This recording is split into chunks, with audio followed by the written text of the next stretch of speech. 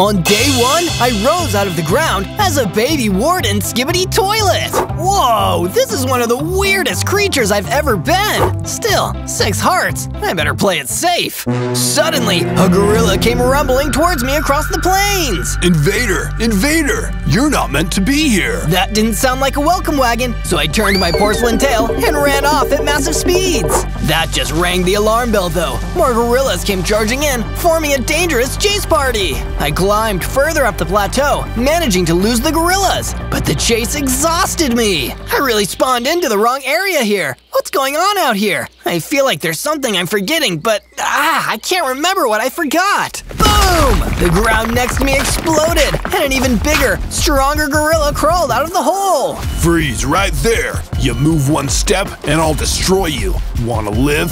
Follow me! Or else. On day two, the big gorilla led me across the plateau. Whatever you think I did, I didn't do it, I swear. I'm a completely innocent warden skibidi toilet. Look, kid, I don't trust wardens, and I don't trust whatever a skibidi toilet is. Want this to go smoothly? All you've got to do is literally everything I say. Well, I guess that's a pretty compelling argument. He took me to some kind of outpost near the top of the plateau, leading me through the complex. They eventually threw me into a dark, dingy cell in the back. You better behave, toilet boy, or you're gonna get yourself flushed. Lucky for me, I wasn't alone in the cell. There was a squat little Mungus waiting in there for me. Hey, Mungus, I'm Zozo. What are you in here for? Somebody accused me of being an imposter, even though I'm not.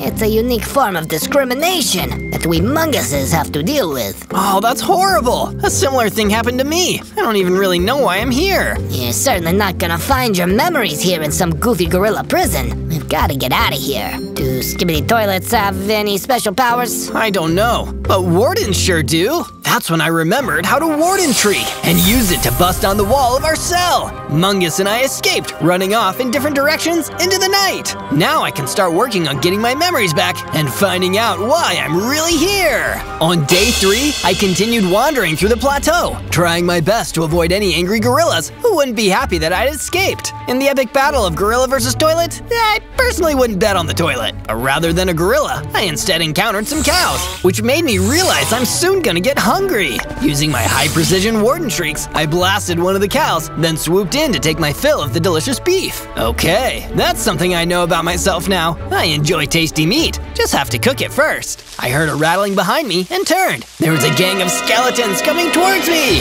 Oh no, skeletons don't have any meat on them at all. I'm doomed. With my warden shriek still recharging, I was defenseless and outnumbered. But before the skeletons could get me, a huge lightning bolt came down and destroyed them all. Oh my gosh, what just happened? That's when I turned and saw him. The glorious sight of a tall man with a TV set for a head. He'd fired the lightning bolt and saved my life. Come with me if you want to not die.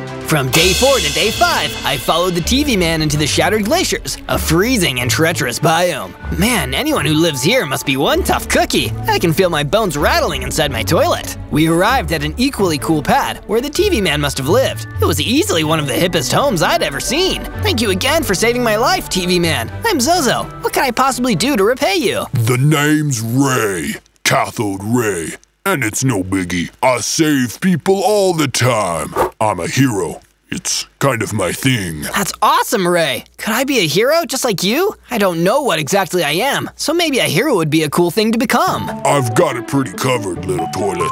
But maybe, with some training, you could have some potential. Training, yes! I could move in with you and. With me? No, no, no, no, no, no, no, no, no, no, no, no, no, no, no. Little fella, Cathode Ray rolls alone. Here, take these and go make yourself a place. We'll talk in a couple days. Cathode Ray, the TV man, gave me my first set of stone tools and a stone sword. I left his base and ventured further up the treacherous Shattered Glaciers. When I found some solid ground on top of a mountain, I was curious to find warped trees here as well. This must be a sign. They look blue just like me. This is it. This is the location for my base. I mined enough material to start building myself a pretty basic house with one bedroom and a furnace so I could finally cook these steaks. Nothing is better than a warm piece of steak. This place isn't much, but it's mine. Not for long, you stinky toilet! I turned and saw that one of the gorilla guards had somehow followed me here. He wasn't interested in conversation. He wanted to fight, and I needed to defend myself. When he ran in, I blasted him with my Warden Shriek, then finished him off with my stone sword skills. That gave me enough XP to level up, becoming a bigger, more combat effective Warden Toilet with 14 hearts and an inbuilt fireball cannon. Oh yeah! Now I'm looking fire! From day 6 to day 8, I was heading back to tell Cathode Ray about the new power I'd gained, but in the process, I ran into my old prison buddy, Mungus. Hey, Mungus, how have things been swinging for you? I didn't expect to see you out here. Been better, man. Everywhere I go, people keep thinking I'm an imposter. It's really starting to affect my self-esteem. That's terrible, Mungus. I wonder why people around here are so distrusting. I continued on to Cathode Ray and asked him the same question. It doesn't surprise me to hear that, Zozo.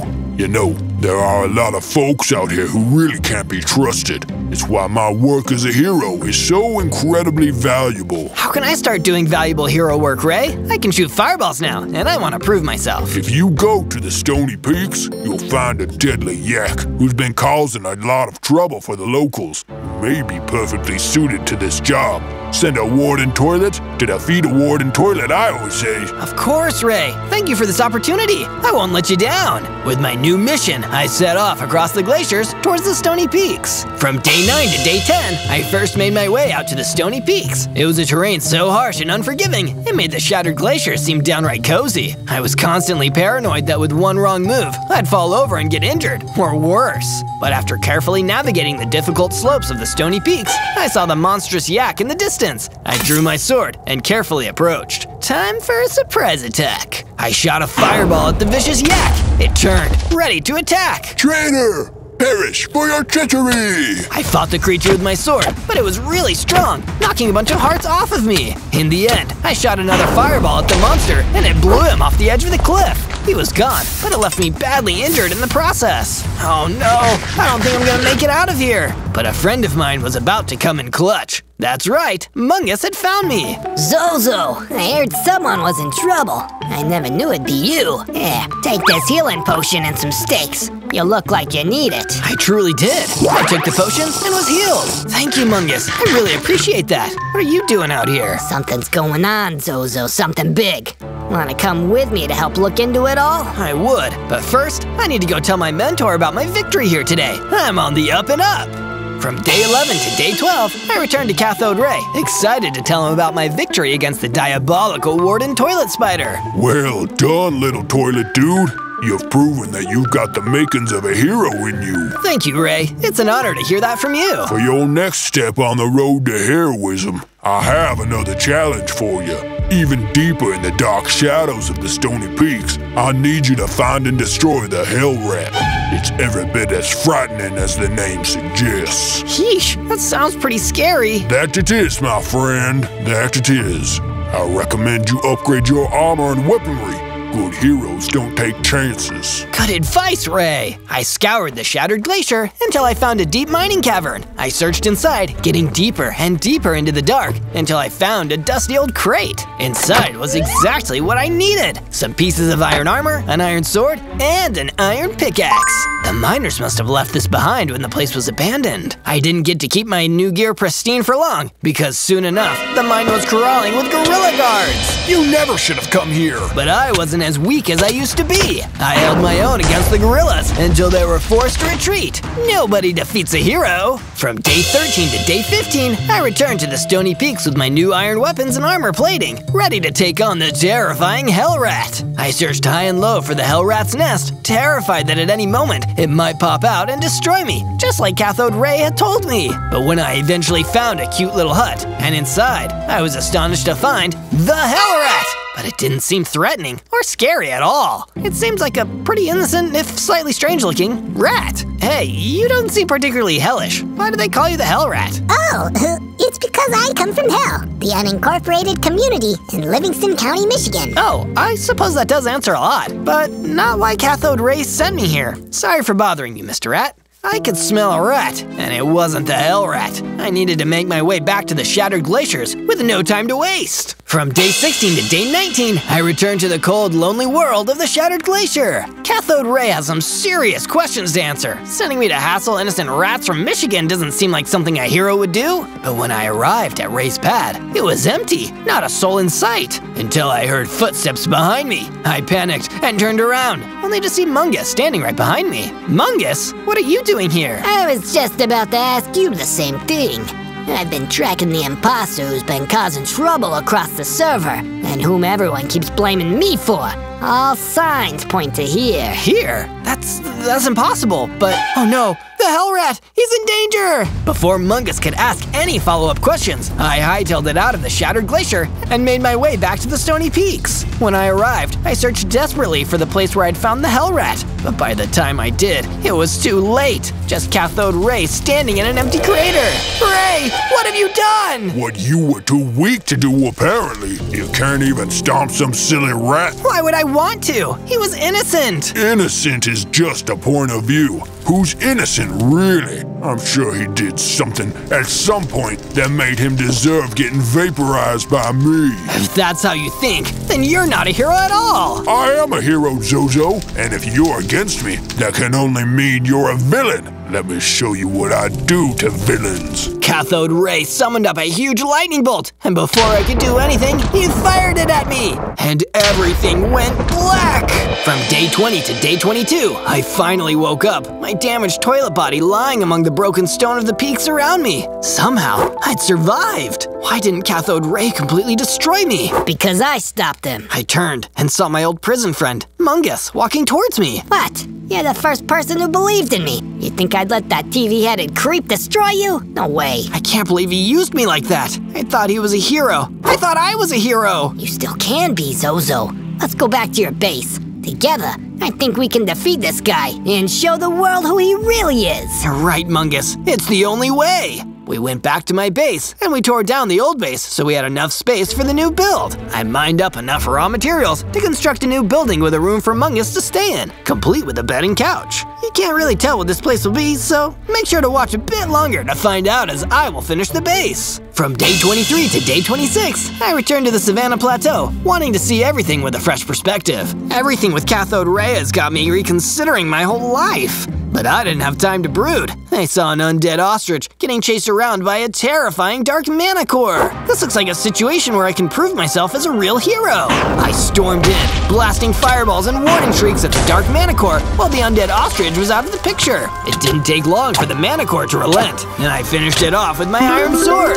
Afterwards, the undead ostrich came out of hiding and approached me. You saved my life! That was so heroic! Thank you. I'm trying my best, despite not having a great teacher. Your best saved me! So in exchange, here, take some of my power and ascend to greater heights! The ostrich fired an energy blast at me, and I felt myself getting bigger and stronger. Soon enough, I had 26 hearts and a new ability, Smash! I tested it out, smashing a huge crazy crater into the ground. Okay, this will be useful later. From day 27 to day 31, while heading back across the Savannah Plateau towards the Shattered Glacier, I encountered a group of chickens. Mmm, even a Warden Skibidi Toilet enjoys some nice fried chicken. I lured the chickens back into the Shattered Glacier and decided I needed to build a pen for them. Before I could do that, I decided to finish up the rest of the base so I can put them in just the right spot. I poured my heart and soul into it. I just hope no one flushes it down. Can't deny the resemblance is uncanny. If you think it looks good, make sure to subscribe so you can see my other amazing builds builds. As I was taking in the views, the Mungus approached me. Great work, Zozo. Some chicken is exactly what we need.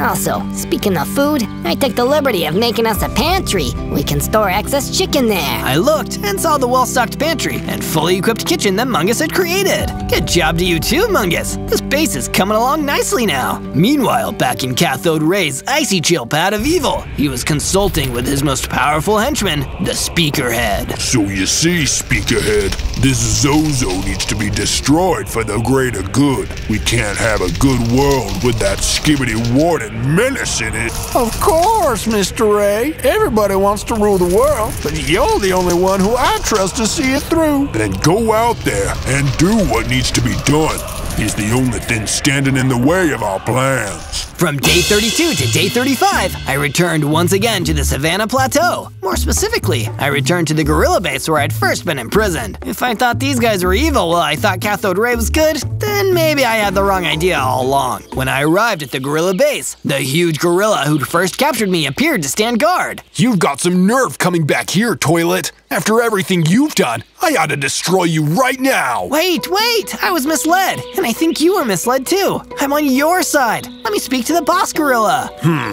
the boss gorilla isn't actually a gorilla. Come with me. If you try anything funny, I'll hammer you into the ground like a tent peg. The big Gorilla directed me inside. I followed his instructions down the hallway until I saw the strangest thing a floating redstone cube. My goodness, who are you? Me? I am the Cube of Wisdom, the source of all good and righteous knowledge. And if you had spoken to me earlier, I could have told you that Cathode Ray, the TV man, was nothing but a sham. Yes, I'm sorry. I know that now. He's a villain who believes he's a hero, but I want to be a real hero. Together, between me, my friend Mungus, and you and your gorilla forces, we can take down this monster. That's the wisest thing you've said all day, Zozo. From day 36 to day 39, knowing the danger of the threats against me, I searched the Shattered Glacier yet again until I found another abandoned cave. I searched deep within until I found some more abandoned pieces of iron armor, which I quickly equipped. Using my smash power to bust through the stone further, I found a small vein of diamonds, which I mined with my iron pickaxe. Not enough to make anything yet, but these will come in real handy when I find more of them. I returned to my base with my spoils, where Mungus was waiting for me with good news. Zozo, I crafted some weapons for you while you were gone. Javelins. They should be super effective. Oh, that's awesome, Mungus! This will make me an even more formidable opponent at long range. I left the edge of my base to practice my throwing skills with my new selection of javelins, when suddenly a gibbon approached. Be not afraid. Don't worry, I wasn't. Oh, okay, uh, okay, let's see, what, what was the message? Uh, oh, uh, I'm an envoy from the Primate Kingdom. My master, the Cube, wishes to speak to you at a secure location in the Twilight Valley. You must journey there at once. It sounded like there was no time to delay. I turned tail and made my way in the direction of the Twilight Valley. From day 40 to day 43, I arrived in the spooky and mysterious Twilight Valley. Following the instructions given to me by the Gibbon, I found a small shack where the Redstone Cube of Wisdom was waiting for me. What's up, Mr. Cube? Why so cloak and dagger? Is everything okay? There's an urgent matter that must be attended to, Zozo. My spies in Cathode Ray's in a circle tell me that he's dispatched one of his most dangerous agents. Speakerhead. What's so dangerous about him? He's a highly skilled and lethal warrior. He's absolutely loyal to Cathode Ray and his cause, and he absolutely hates skibidi toilets. I must leave now, Zozo, but stay safe. You are in grave danger. The Redstone Cube teleported away, leaving me alone in the Twilight Valley. Or so I thought. The shack exploded, and the speaker head was standing there, wielding a huge sword.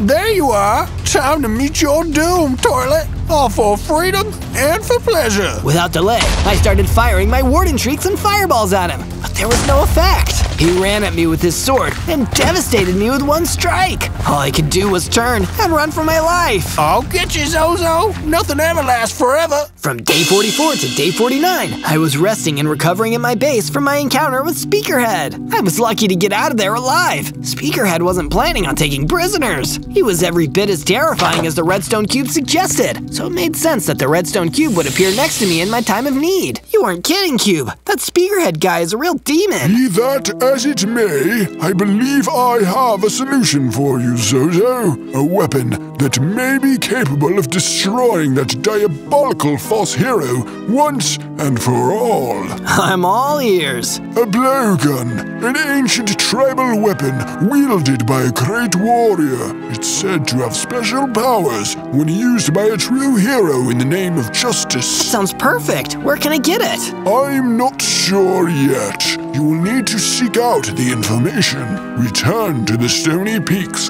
and seek out other wise creatures. They will give you the knowledge that you seek. From day 50 to day 53, I had fully recovered from the stress of my battle with Speakerhead. I ventured out into the stony peaks, wanting to find the wise creatures that the Redstone Cube had spoken of. I'm lucky I don't have any legs, or they'd be getting really tired right about now. When I'd reached the highest peaks of the stony, well, peaks, I found a wise old spider pig waiting for me. Welcome, my son. I am the great spider pig who sits at the center of the cosmic web of knowledge. I can answer but one question of every person. What is your question, Warden Toilet? I seek the power to defeat evil. Where can I find the legendary ancient blowgun? It will not be easy, my boy. The blowgun lies in the chamber of destiny, deep inside the Cynthian Torrids. It is guarded by a terrible beast. You will need to be incredibly strong to fight it. A terrible beast. Great. For a second there, I was worried this whole thing would be too easy. From day 54 to day 57, I returned to the Savannah Plateau, hoping to share everything I'd learned with the Redstone Cube. But on the way, I was intercepted by a familiar and terrifying foe, Speakerhead. Well, well, well, if it isn't my least favorite warden toilet, Zozo. Speakerhead, what are you doing here? I've been listening to you all the way since the spider pig. My master wants me to collect intelligence on you and everything you're doing. But I won't even need that information if I destroy you right here. Threw some javelins at him and tried to hit him with my fireballs, but he was too strong. My turn. Pulled out a destroyer and with one whack, blasted a huge crater in the earth. I was lucky to have escaped with my life. Meanwhile, back at his base in the Shattered Glacier, Cathode Ray was receiving the information that Speakerhead had stolen. The Scythian Torrids. Interesting. Then it means the blowgun must be guarded by the High Reaver. Perhaps I'll let Zozo deal with that one. He could always use the practice. From day 58 to day 62, I was at my base, having at least survived a second encounter with the Speakerhead. I need some kind of advantage. I can't afford to let him get the jump on me again. I might not be so lucky. I was pulled out of my pessimistic thoughts by Mungus, who strolled over to me with obvious excitement. Zozo, I've been working hard building things while you were gone. I added in a little yard, a bathroom, and a new crafting area, complete with a furnace. Oh, that's genius, Mungus. Just the thing I needed. If I want some new gear, I'm gonna need to forge it myself. With this in mind, I went back to the same mining cavern I'd visited before and dug even deeper into the darkness, using my smash power to go deeper a lot faster than I would with just a pickaxe. Eventually, I found an even richer vein of diamonds and harvested as many as I possibly could. Then, I took them back to the base and put Mungus's crafting room to good use. I forged myself a diamond sword, a diamond pickaxe, and a few pieces of diamond armor. Now I'm a force to be reckoned with! with. From day 63 to day 66, I heard a great crackling outside my base, like something of immense power had arrived. I walked outside the base and saw the redstone cube of wisdom waiting for me on my decorative toilet. Zozo, it is time. We must travel together to the edge of the Shattered Glacier. There we can find the portal to the Scythian Torrids, where the sacred blowgun awaits the arrival of its prophesied user. That, Zozo, is you. Then we have no time to waste. Lead the way! I followed the floating cube across the shattered glacier until eventually we reached the impressive looking portal stand. Something is wrong, Zozo. The portal, it isn't active. Then what do we do? Keep searching. There must be some kind of key. Someone out there has it. We just need you to get our hands on it. Well, we don't have hands, but you get the idea. From day 67 to day 70, while waiting and planning my next steps on the toilet, I was visited by someone I hadn't had the best relationship with, the big gorilla. Zozo, you know I wouldn't come to you if I wasn't desperate, but some unknown force has been fighting my men in the Twilight Valley while we try to search for the key to the Cynthian Torrids. And I'm guessing you want me to come in there and fight it? Yeah, pretty much. But you better not gloat about it. Cause I'm a nice guy, I didn't gloat. Just flushed the toilet and made a beeline for the Twilight Valley, where I saw what had been giving the gorilla so much trouble a cosmically powerful Shiba Inu. Be gone, intruder! You will never get your hands on the key! Leave my valley! Wait, listen to me! If you use this key for evil, I will. Listen! I'm not here to do evil. I'm here to stop it. You said something about a key? Is it the key to the Scythian Torrids? Yes, the very same. I seek the blowgun from the Chamber of Destiny. For what purpose do you seek it? I wish to obtain the blowgun and use it to defeat the evil known as Cathode Ray. That is a noble goal. The key is yours. If you misuse it, I'll destroy you myself. Shiba Inu disappeared, leaving behind a magical looking key, which I immediately picked up. I'm one more step closer to completing my quest. From day 71 to day 74, I was returning to my base, excited to tell Mungus about the key. But I had bigger things on my mind. Speakerhead was back, and he was destroying my base. You're too late, Zozo. I know everything. You can't stop us now. I can tell you're a speakerhead even from a distance, because you're such an annoying loudmouth. Don't get mad, Zozo. Get even. If you're brave enough, I'll be waiting near Ray's pad. Come and get some, loser. Speakerhead laughed and disappeared. Then, Mungus came out of hiding to speak to me. How did he cause us much damage, Mungus? He used his destroyer, an incredibly powerful weapon. Darn, that man is such a thorn in my side. It doesn't need to be all bad, Zozo. Maybe if you go and destroy Speakerhead, you'll get his destroyer. Then you can use it in the Cynthian Torrents to get the blowgun. That's a great idea, Mungus. But are you sure you'll be okay here alone? I can handle myself, Zozo. I'll rebuild the base while you're gone. Then it looks like we've got a plan. Little did I know, all of this was part of Cathode Ray's grand plan. Once he's dispatched dear Speakerhead, he'll be strong enough to enter the Scythian Taurids. Then, the blowgun will be mine, and nothing will be able to stop me. From day 75 to day 78, I was preparing for the battle with Speakerhead when the Redstone Cube of Wisdom came to impart some of his trademark wisdom. Fight hard out there, Zozo. We're all counting on you. Thanks, Redstone Cube. Is is that it? And then he left. From day 79 to day 84, I wasted no time in charging to the dark depths of the Shattered Glacier. Speakerhead, you will face me in single combat. That was clearly enough to summon him because Speakerhead immediately appeared. It was almost too perfect. Ready to be destroyed, Zozo? Well, clearly you are, since you're here. Please stop talking. I'd rather just fight. I charged at Speakerhead, wielding my diamond sword. Even with the aid of my powers, I was so hopelessly outmatched. Face it, Zozo, you're doomed. You can't beat me. That's when I suddenly felt a surge of energy coming up from the key the Shiba Inu gave me. The power to fight against evil. I evolved into a Warden Spider Skibidi Toilet. I was bigger, stronger, and suddenly had 100 hearts and the ability to shoot lasers. Speakerhead was so shocked. What?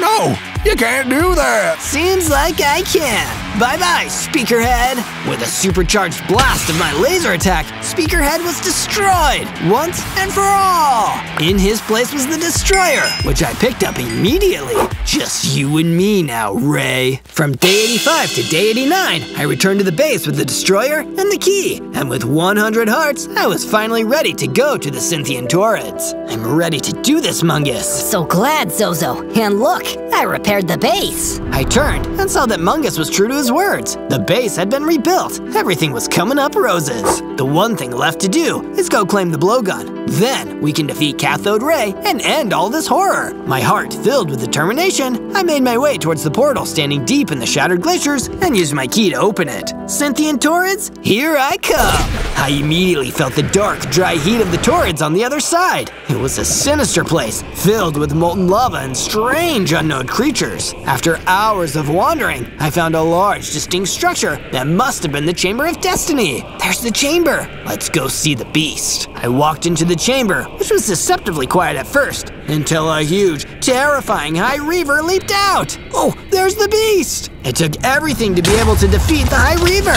The blade of my diamond sword, my fireballs, my javelins, my laser eyes, and of course, the destroyer. It was a hard battle, and I lost plenty of hearts. But in the end, the High Reaver was defeated, and the blowgun was left on the ground. Cathode Ray, you've got a big storm coming. From day 90 to day 94, I left the Chamber of Destiny with the blowgun in hand. With this, I'd finally be able to destroy Cathode Ray once and for all. But before I could find my way to the portal, I was hit by a lightning that completely paralyzed me from the neck down. The blowgun fell out onto the floor.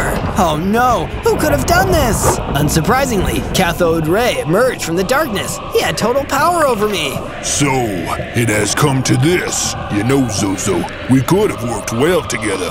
Imagine the heroics we would have accomplished together. You've never done anything heroic in your life, Ray. You're just a villain who's lying to himself. You're going to regret this, Zozo.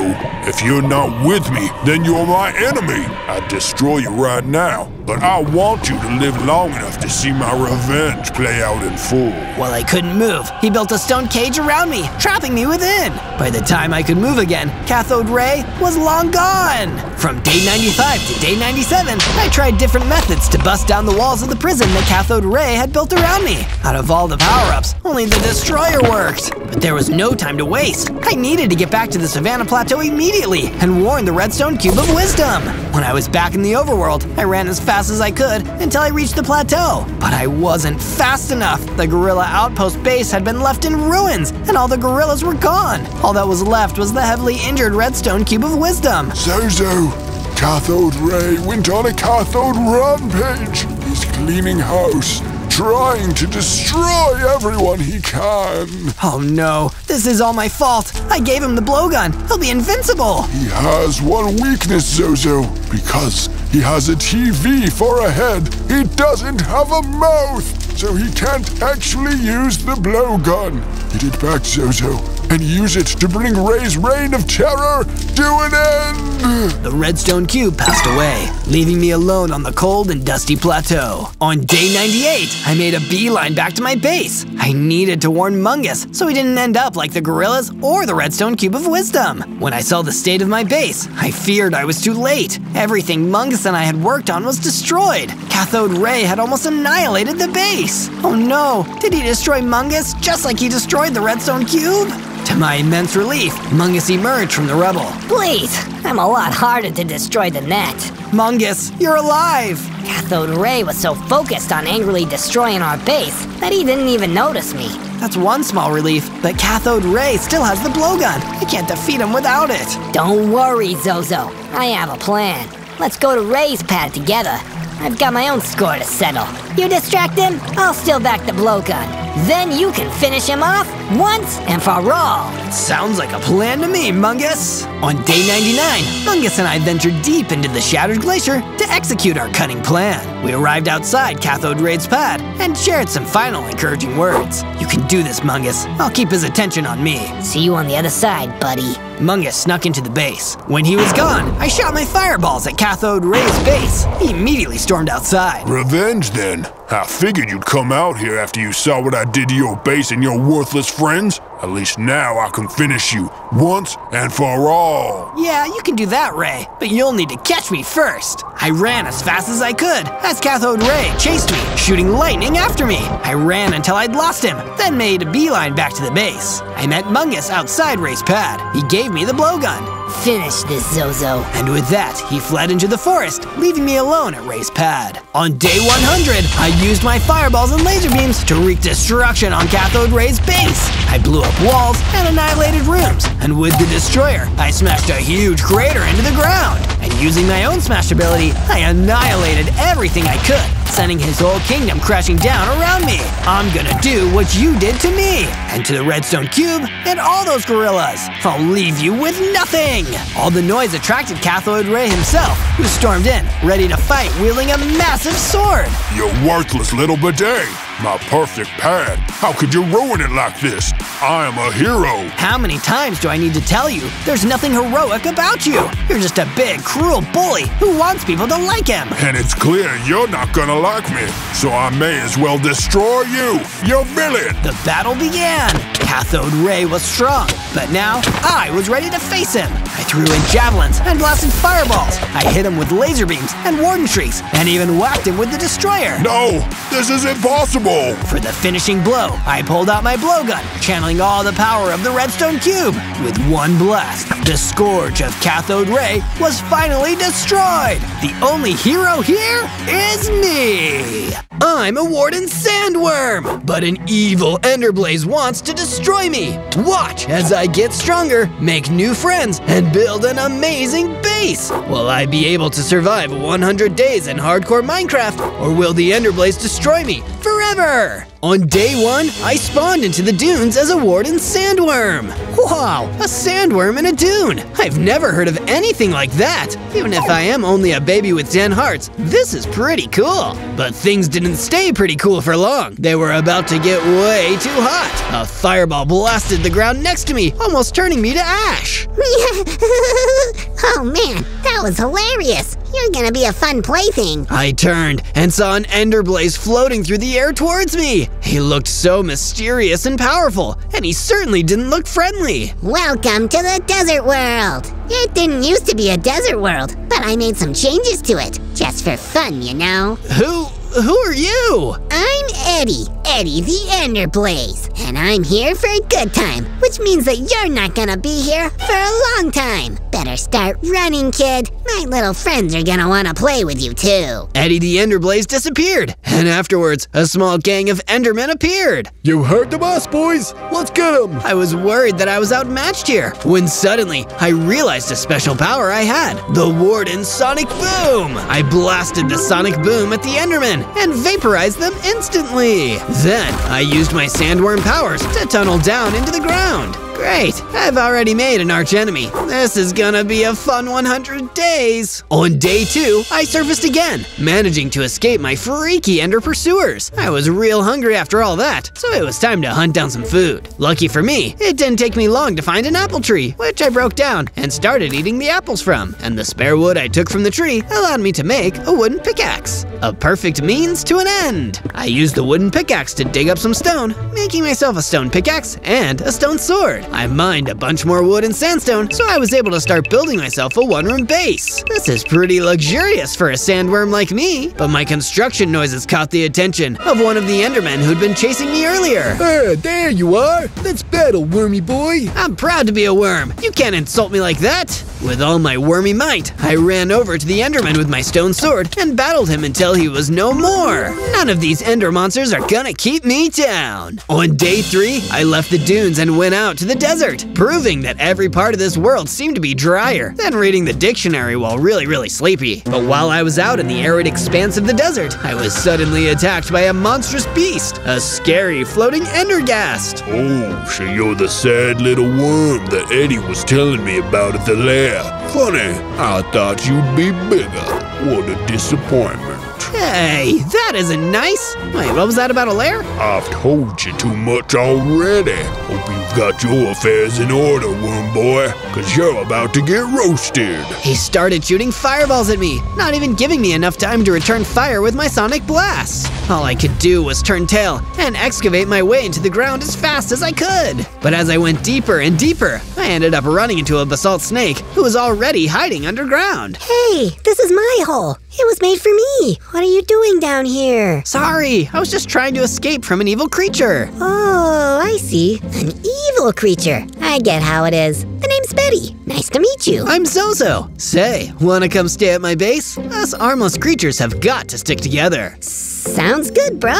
Let's go. From day four to day five, I returned to my small base with Betty the basalt snake. Wow, Zozo. What a huge base you have. But are the rooms all empty? Thank you for pointing that out, Betty. Thankfully, I've got the tools and the building skills to change that. I worked to build a small room for Betty to sleep in while staying at my base. Once that was done, she at least seemed pretty happy with it. I'm pretty happy with this. No problem. Guess the base isn't so small now. Well, Betty slithered into her room to get some sleep. I decided to have a look around the perimeter of my base, trying to assess what upgrade would be best to build next. Hmm, maybe a pool would be nice. But I didn't need to think for long, because suddenly, the floor broke next to me, and an Enderman teleported in front of me. Waha! It is I, a random Enderman. If you think you can defeat me, think again. because I'll. I destroyed him with one of my sonic blasts, easily taking care of the problem. But I noticed that after being destroyed, the Enderman had dropped a new tool, a hammer, and excavator, a tool that can break a 3x3 block area.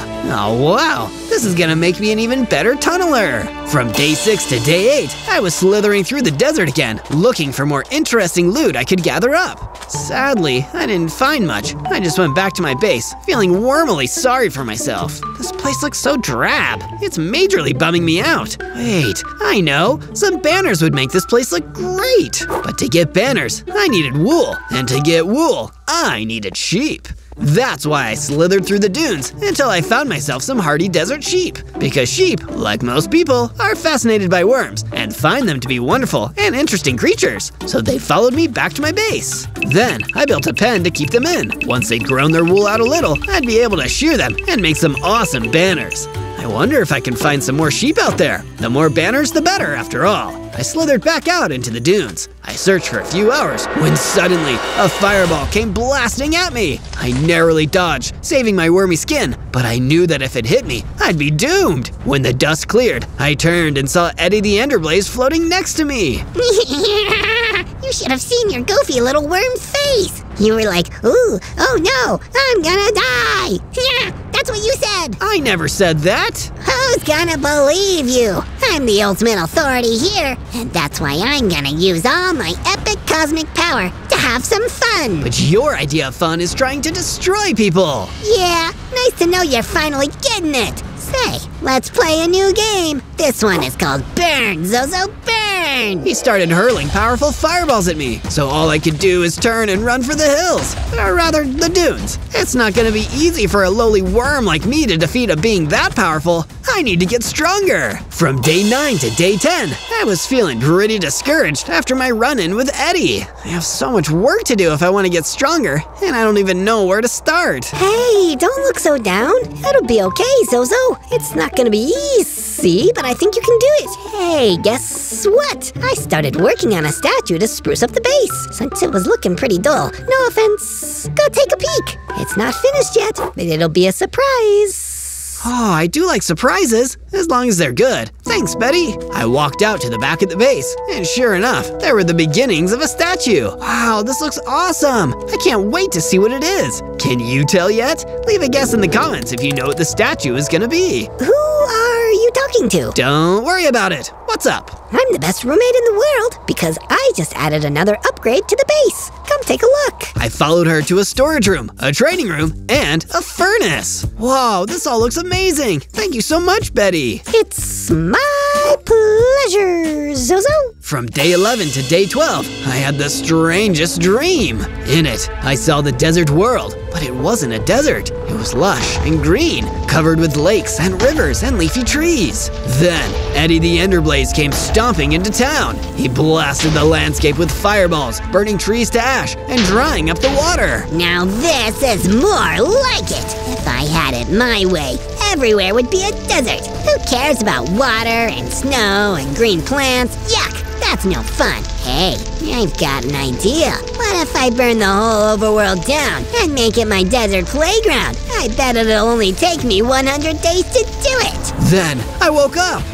Oh, jeez, what a weird dream. But I get the feeling it was real, which means after 100 days are up, the overworld is gonna be turned into a desert. I can't let that happen. This isn't just about me saving myself, it's about saving everything. From day 13 to day 15, I traveled back out into the desert. I was just starting to take in the scenery when I spotted that Endergast from before, floating through the air with a nasty attitude. Oh, hey, the sad little worm came back. Ready to get your butt kicked? Do worms even have butts? I'm not even sure, but it doesn't matter. You're not gonna kick any part of me. I don't have to take talk like that from some tiny loser worm. Maybe a fireball sandwich will shut you up. He started shooting fireballs at me, but I managed to dodge them this time, firing back with some sonic blasts. Unlike last time, I actually landed a hit, knocking him back. While he was recovering, I rushed at him and attacked again, finally defeating the Endergast once and for all. Tell the boys at the lair that you lost to a worm. Oh, wait, you can't. Oh well, that was awesome. You know what? I feel stronger already. My heart's increased to 30, and I felt tough enough to break through a wall. So I tried it out, and what do you know? I did it! I guess I can break through walls now. This day gets better and better. From day 16 to day 19, I decided to upgrade my gear to match my newfound strength. I found a mining cavern and ventured inside to look for materials. Oh, a vein of iron! I need to get some of that. I was about to dig up the iron when an ender creeper jumped out of the shadows and attacked me. Hey, I don't have time for this. I've got a mine. Luckily, he wasn't too strong, and I managed to defeat him right away. Next, I dug up the iron and took it back to my base. There, I got to put Betty's furnace to good use and smelt it into ore. I crafted a nice new iron sword and pickaxe. Check me out. I'm not just a little desert worm anymore. I'm a worm with an iron sword. That's pretty cool. From day 20 to day 22, I was hanging out around the base, trying out my new sword, when Betty came slithering up to me with a really worried look on her face. What's going on, Betty? It's Eddie the Enderblaze! I just spotted him on his way here to attack the base! Oh no, not after all the hard work you did. I've got to go stop him. I ran out of the base as fast as I could until I could see Eddie the Enderblaze floating toward the base. You need to leave. You're not welcome here. Oh, yeah? What are you gonna do? Fight me about it? Please. Yeah, right. You know what? I am gonna fight you. Yeah, your funeral. While he was gloating, I drew my sword and charged. He countered with a fireball, but I managed to dodge it and almost get in a good hit. But then he floated out of my way at the last minute, getting away. Still, I held my own a lot better than I did before.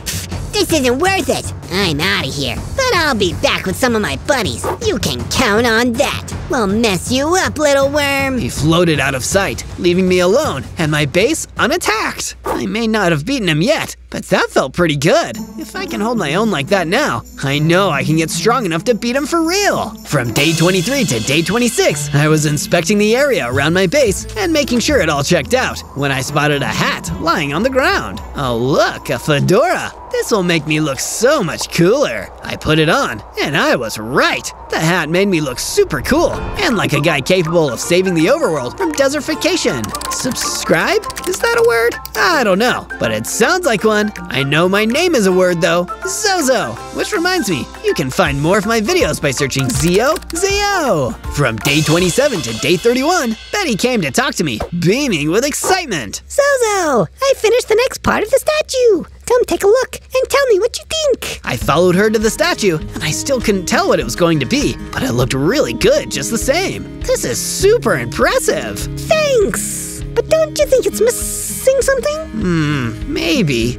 Oh, hey, do you think some pink terracotta would tie the whole thing together? Yes! That's it! You can find it in the Badlands! Can you get some for me? I'm pretty busy around here. Sure. I traveled out to the Badlands to search for the pink terracotta. Suddenly, an Enderman attacked me out of nowhere. Hey, are you the worm who put an end to random Enderman? That was my brother. I'm Tandem Enderman. I'm much stronger than my brother. You'll never defeat me. So anyway, I defeated him right away and continued my search for the pink terracotta. From day 32 to day 35, I continued exploring the Badlands. Come on, where can a sharply dressed worm get some pink terracotta around here? I was starting to get pretty frustrated, so I took a second to stand still and take a deep breath. While I was calming down and clearing my mind, a phantom fox drifted toward me. Oh, hi! You're not a scary phantom, are you? Oh, no, I'm not scary. I'm just scared. You see, it's my friend. He's in trouble. Oh no, in trouble is the worst place for a friend to be.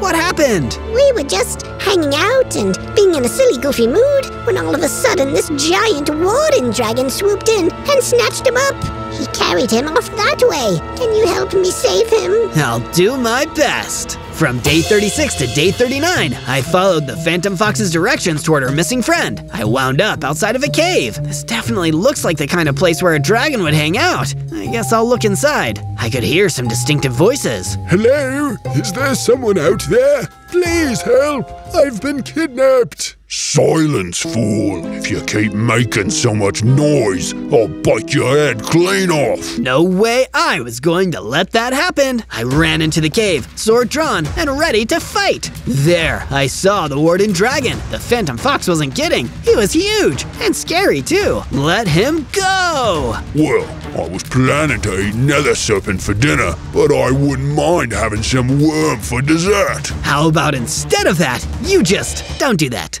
Huh, tempting offer, but no thanks. In fact, I think I'll have you as an appetizer instead. He roared and charged at me, but I had my sword ready. When he tried to snap me up in his jaws, I slashed at him with my sword, then followed it up with a sonic blast. From day 40 to day 43, I continued my fight against the Warden Dragon. He was big and mean, but I was smaller and faster, so I was able to get away and keep attacking. Finally, I managed to defeat the Warden And dragon. Behind him, I could see another serpent locked in a cage. You must be the Phantom Fox's friend. I'm Zozo. I'm here to rescue you. Did you find a key? I can't get out of here. I didn't, but luckily I'm pretty good at breaking through walls. Stand back. He did, and I broke through the wall of the cage, setting him free. Let's get out of here. Great idea. I don't want to spend another second in this cave. Together, the Nether Serpent and I ran out of there and traveled back to the Phantom Fox. Ned, I'm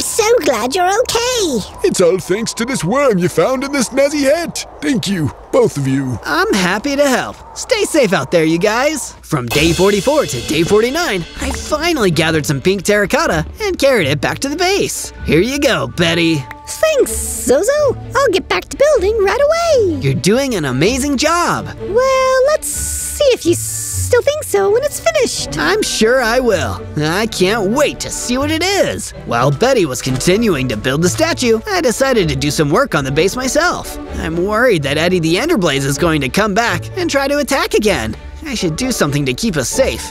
I know! I'll build a perimeter wall to keep him from getting too close. It took all day, but I was able to build a big strong wall all around the base. If Eddie decides to come back, it won't be so easy for him to get inside. After I finished the perimeter wall, I decided to go check on Betty and see how the statue was coming along. How'd the pink terracotta work out? I haven't gotten to it yet, but I made some proper progress. See for yourself. I think it looks super. It really does. What is it? Guess. Hmm, is it a statue of you? Nope.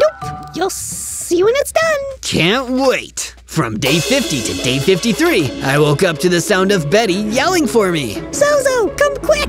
Eddie came back and he brought a whole bunch of Endermen with him. Oh no, is the wall keeping them out? For now, but they're breaking it down. Hurry! I jumped out of bed and ran out to the front of the base. Eddie, I told you before, you're not welcome here. The Enderman minions were trying to break down the wall, but I couldn't see Eddie the Enderblaze anywhere. Then I spotted him hanging way back and barking orders at his goons from afar. No one tells me what to do or where to go, worm. I go where I want, do what I want, and destroy whatever I want. When are you gonna get that? Never! Get him, boys. I'm getting bored of all this standing around. The Endermen attacked me, but they were no match. While I was fighting them off, I saw another one grab Betty and run off with her. Betty, no! It's gonna be so fun burning her to a crisp. Say bye-bye to your little friend. Eddie floated away, leaving me to finish my fight with the Enderman. He was stronger than Random or Tandem, but I still managed to defeat him.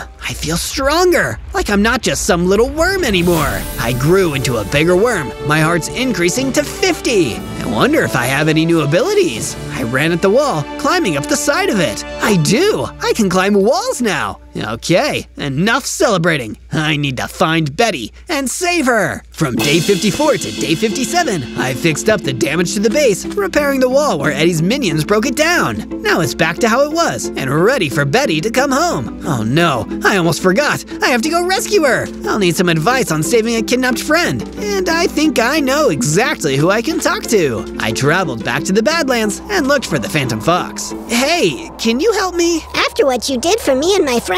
Of course. What's the matter? My snake friend, Betty, was kidnapped by some guys working for Eddie the Enderblaze. That jerk? He's terrible. I've heard he takes us prisoners to a hideout in the Mojave Desert where he and a bunch of other bad guys have some kind of lair. I bet he took her there. You'll need more than an iron sword to get in and out of there in one piece, though. Then I'd better find a way to upgrade my gear, and quick! Thank you for your help! Anytime. Good luck. I hope you find your friend. From day 58 to day 62, I traveled back to the mining cavern and climbed back down inside. Okay, I've got a mine like I've never mined before. If I want to get Betty back home safe, let's get to work.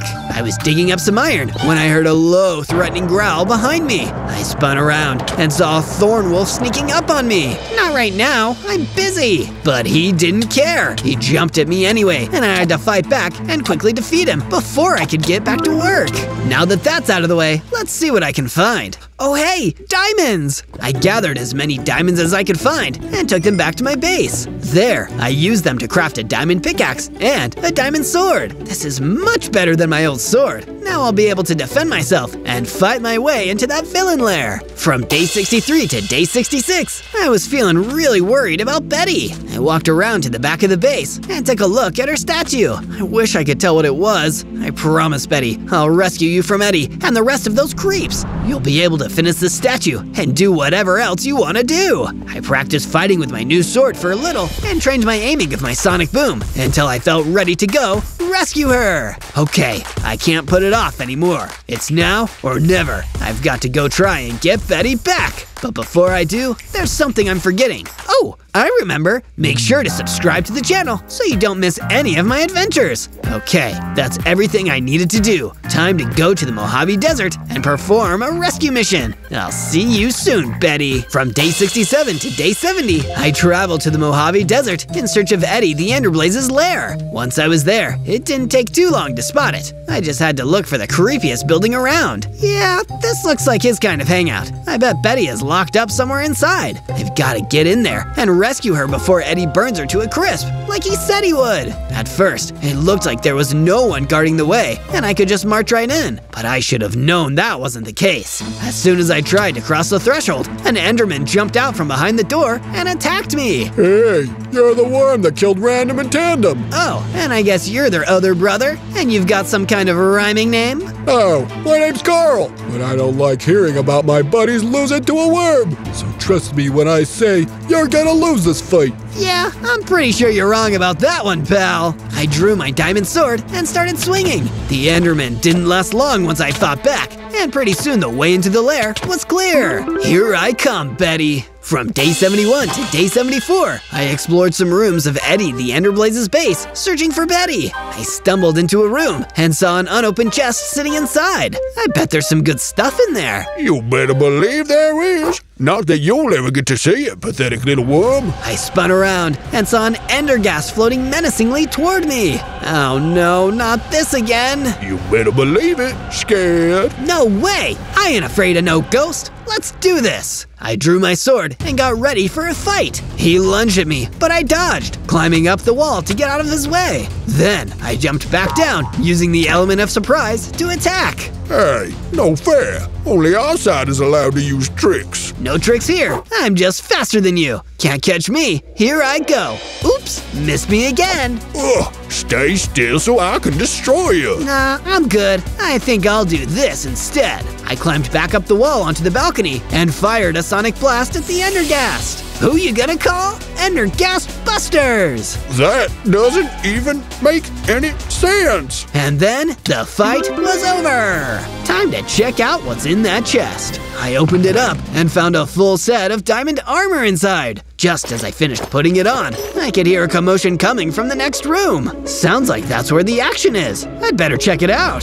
From day 75 to day 78, following the sounds coming from inside, I approached the door, but it was locked. Luckily, my hammer can handle this. I broke through the wall, and into the next room I found Betty, locked up in a cell. Betty, you're still okay. For now, I don't know how much longer I've got. That Enderblaze is coming back soon. Then I'd better work fast and get you out of here before he gets back. I was letting Betty out of her cell when I heard Eddie the Enderblaze burst through the door. Too late. I'm already back. Nothing gets past me, kid. Since you don't seem to be able to learn your lesson, I guess I'm gonna have to make it hurt. Or maybe I'll have to teach you a lesson. Ha! Nice try! But I take a lot of pride in refusing to learn anything from anybody else. Get out of here, Betty. I'll meet you back at home. See you soon, Zozo! Betty slithered out of there, while Eddie the Enderblaze kept his attention on me. This talking stuff is so dull. Let's get to the part where I roast you to ashes instead. He shot a fireball at me, but I dodged it, climbing up the wall and out of the way. It came pretty close to hitting me though, and I could feel the heat as it whizzed by. That was a close one. Not close enough. He shot another fireball at me, but I jumped down from the wall, attacking with my sword. Wait, no, you don't get to do that. I always win. I guess not. It won't be until I burn this whole overworld down. This isn't over, Worm. He shot one more fireball at me and ran out of the room while I was busy getting out of the way. I'll get to finish this fight later. For now, I'd better get home and make sure Betty made it back okay. From day 79 to day 84, I ran back to my base. While I was traveling home, Eddie the Enderblaze retreated to a special secret hideout room. He pushed past the sign that said no losers allowed and locked himself inside. If Zozo won't respect my incredible power, then I'll just have to make him. This game isn't fun anymore, so I think it's time to change the rules. He opened a chest and pulled out a potion, drinking every last drop. He began to change, going bigger and stronger. That's more like it. Wait until that little worm sees the new and improved Eddie. We'll have some real fun. From day 85 to day 89, I made it back to my base. When I got there, Betty was waiting for me. Zozo, I'm so glad you're all right. I can't take care of this place by myself, you know. Plus, we're friends, and you'd miss me if I didn't come back. Sure, that too. I'm almost finished with the statue, by the way. Amazing! I'm so excited! First, take this. She gave me a book containing a fire aspect 2 enchantment. While she went off to finish the rest of the statue, I used the enchantment to enchant my sword. Now this sword is even more amazing than it was before. I'm on fire! Ha! But not really. That would hurt. Anyway, time to go see how it's going with Betty. I'm finished with the statue. Can you tell what it is now? I can. It's a giant sandworm. It looks just like me, only huge and heroic. You can be a hero too, Zozo. You just need to get hold of the potion of power. Oh, great! Where's that? Somewhere in the Badlands. From day 90 to day 94, I traveled to the Badlands in search of the Potion of Power. I wound up at a mysterious looking house and decided to take a look inside. This definitely looks like the kind of place where you'd hide a powerful potion. Let's see if I'm right. I looked around and found a chest. I bet it's in here. I just hope no one attacks me while I'm trying to open this chest. I believe that's my cue. An Enderman rushed out of a hiding place and attacked me while my guard was down, knocking me back. Oh no, I guess I jinxed myself. Also, I'm supposed to be guarding the potion of power. Oops, wasn't supposed to tell you it was here. My bad. Anyway, I'll get to the destroying you part now. But he didn't have the advantage anymore, now that I knew he was there. I drew my sword and fought back as hard as I could. Before too long, I defeated him. Now, let's see about that potion. I opened the chest, and there it was. I'll take this with me and save it for the perfect moment. It's all starting to come together, and just in time, too. The hundred days are almost up, and there isn't much time left to stop Eddie from turning the entire overworld into a desert. From day 95 to day 97, I returned home to my base with the potion of power and a sense of confidence in the battle ahead. I'm feeling so much more prepared than I ever thought I would, but I still feel like I'm missing something. Just then, I heard a knock at my door. Who is it? It's Phoebe. Who? Oh, um, I'm the Phantom Fox. You helped save my friend from a dragon. Then I gave you advice on saving your friend from Eddie the Enderblaze. We've bonded over a lot of kidnapping stuff, now that I think about it. Right! I opened the door, and Phoebe the Phantom Fox was standing there, holding something in her hands. I brought you a present. I thought it might help you out when you face off against Eddie. Here you go. She handed me a full set of netherite armor. Phoebe, this is incredible! Thank you so much! What a nice gift! And I didn't even know your name. I'm sorry. It's okay. There was a lot going on before, and I forgot to introduce myself. Good luck with the fight. Have fun storming the castle. It's more of a lair than a castle, but thank you so much. I'll try my very best. On day 98, I was getting ready to finally set off toward the Mojave Desert and try to defeat Eddie the Enderblaze. To psych myself up, I took some time to look up at the statue that Betty built for me. It really was amazing. Oh, giant sandworm, I hope I can be as powerful as you look.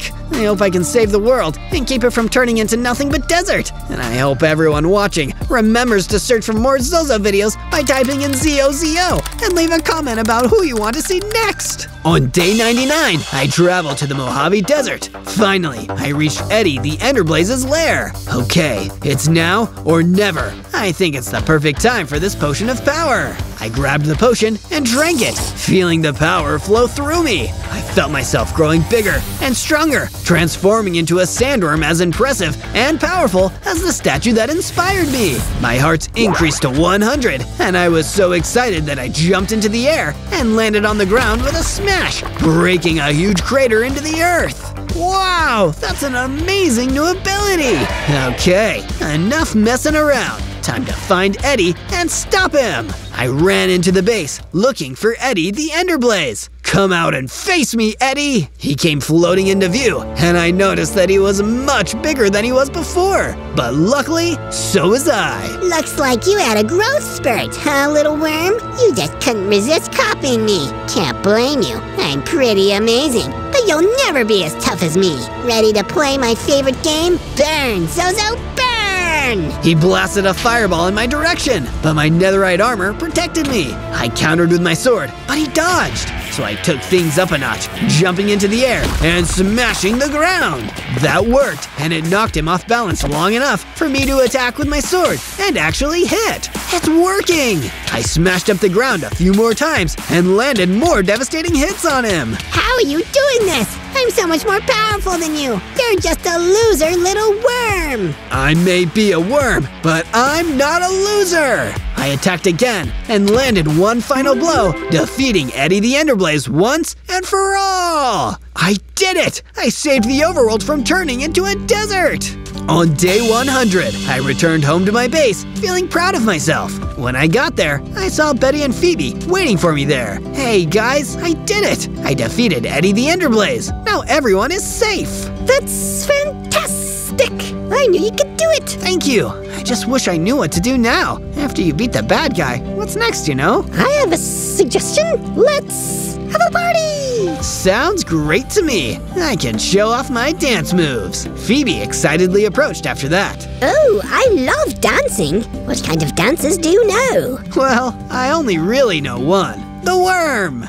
On day one, I spawned in as an awesome Warden Ninja, right in the middle of my Warden Ninja hideout. But there were no other Warden Ninjas around. In fact, the whole place was full of Dread Ghouls. While several of them were standing at attention, one of them was standing back and giving orders. Destroy everything, my Dark Warriors! We are under orders to eliminate every last Warden Ninja we can find!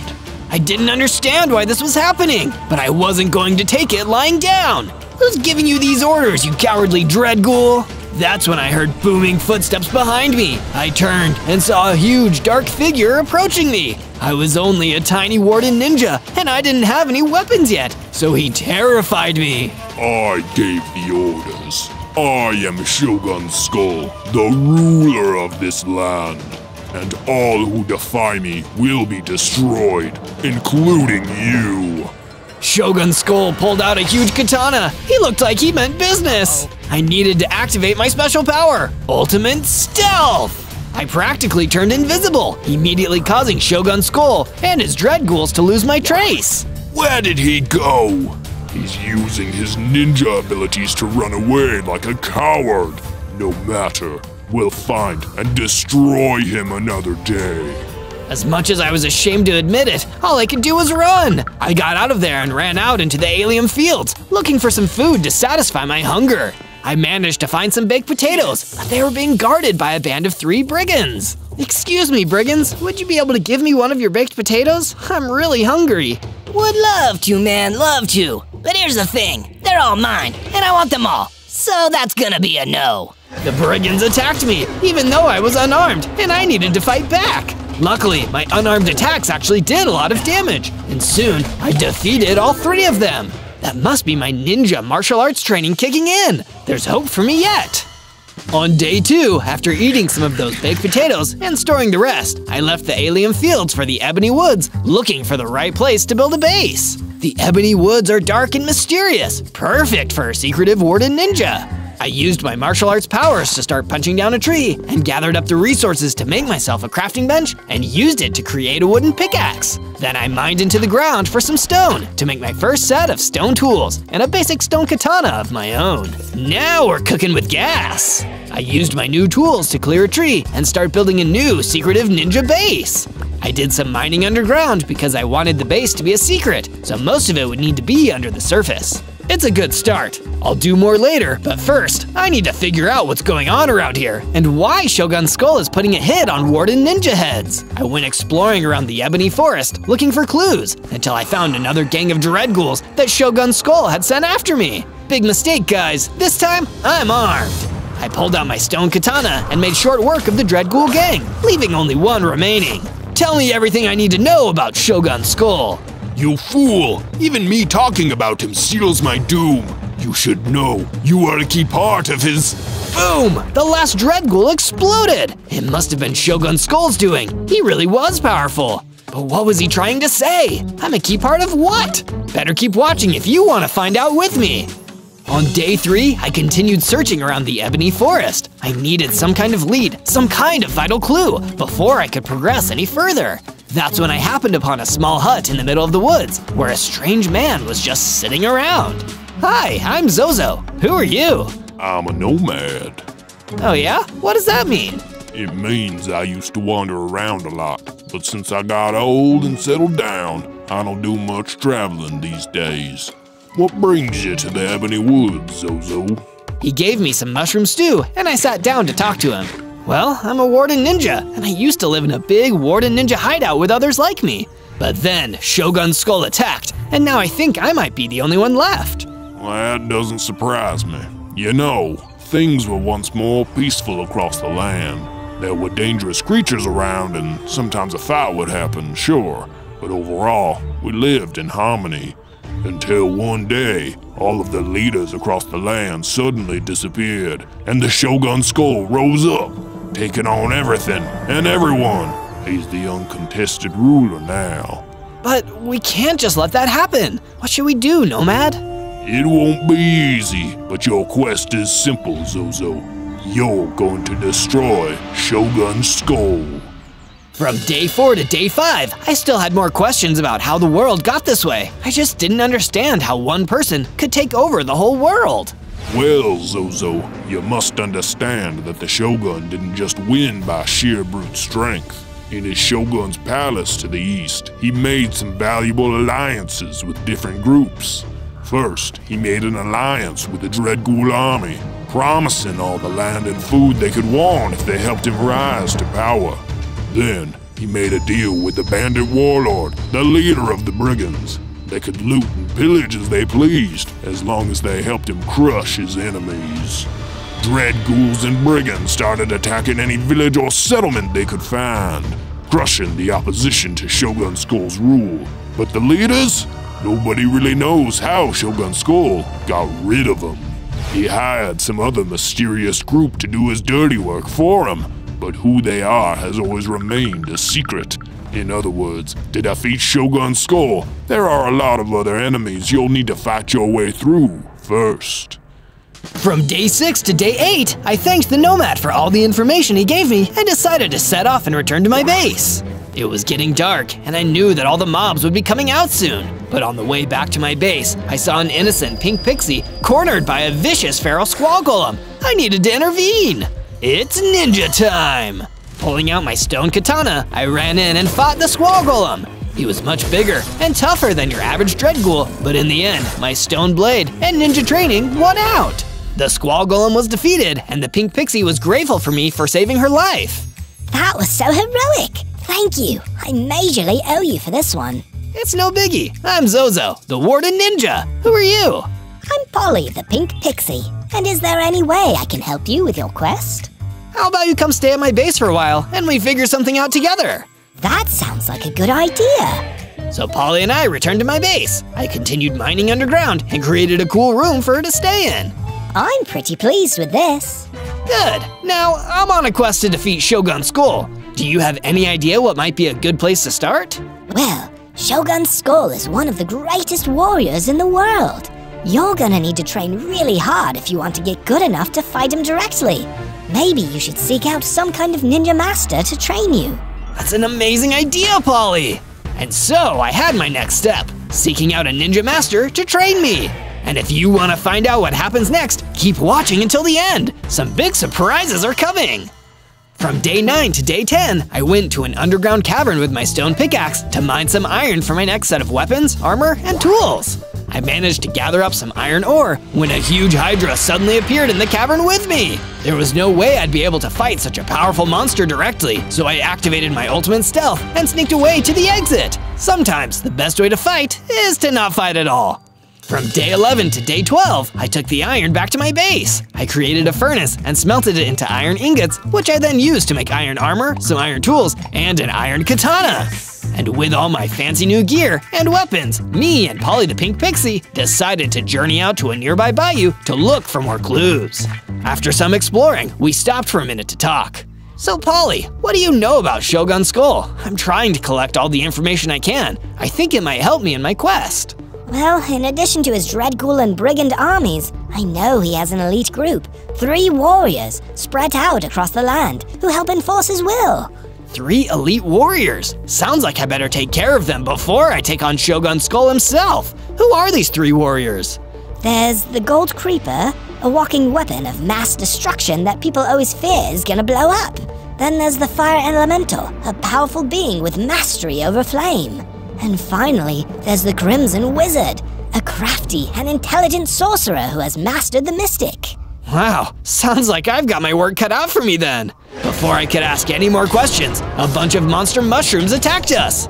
Even with my iron katana, it wasn't easy to take them down. These mushrooms meant business. But when I did take them down, I transformed into a bigger, stronger Warden Ninja with 20 hearts. Whoa, this is awesome! Better stick around to see what I transform into next. That's rad, Zozo. But hey, maybe next time we should go somewhere a little drier. This bayou is just gross. From day 13 to day 15, Polly and I returned to my base. I decided to spruce it up a little, adding some plants and other decorative improvements, and actually decided to make myself a proper room. Just because it's a secret underground base doesn't mean it has to be drab and dreary. That's when I remembered what Polly had said to me. Maybe next time we should go somewhere a little drier. This bayou is just gross. And it hit me. What could be drier than the Mojave Desert? Maybe I'd have some luck finding someone there. After taking some time to rest, I went out to the Mojave Desert. It was just as dry and hot as I expected, but there didn't seem to be much going on.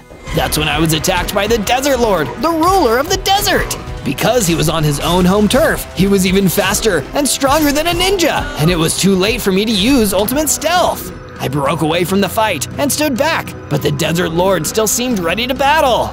You are a trespasser on this land. This is my desert, and I'll never let you or the diabolical Shogun Skull you serve claim it. Wait, there's been a misunderstanding. I don't work for Shogun Skull. I want to defeat him. Oh, I'm sorry. I just assumed you was working for the Dread Shogun. But why? Didn't all the Warden Ninjas used to work for him? My mind was blown. It all made sense now. The mysterious third group who worked with the Shogun Skull, it must have been the Warden Ninjas. But why was he trying to destroy them now? Desert Lord, you've given me a lot to think over. Would you like to come back to my base and we can work together to defeat Shogun Skull? Well, I hate to leave my desert, my true home. For now, it seems working together is the most sensible choice. Let's go, Warden Ninja. The name's Zozo. Follow me.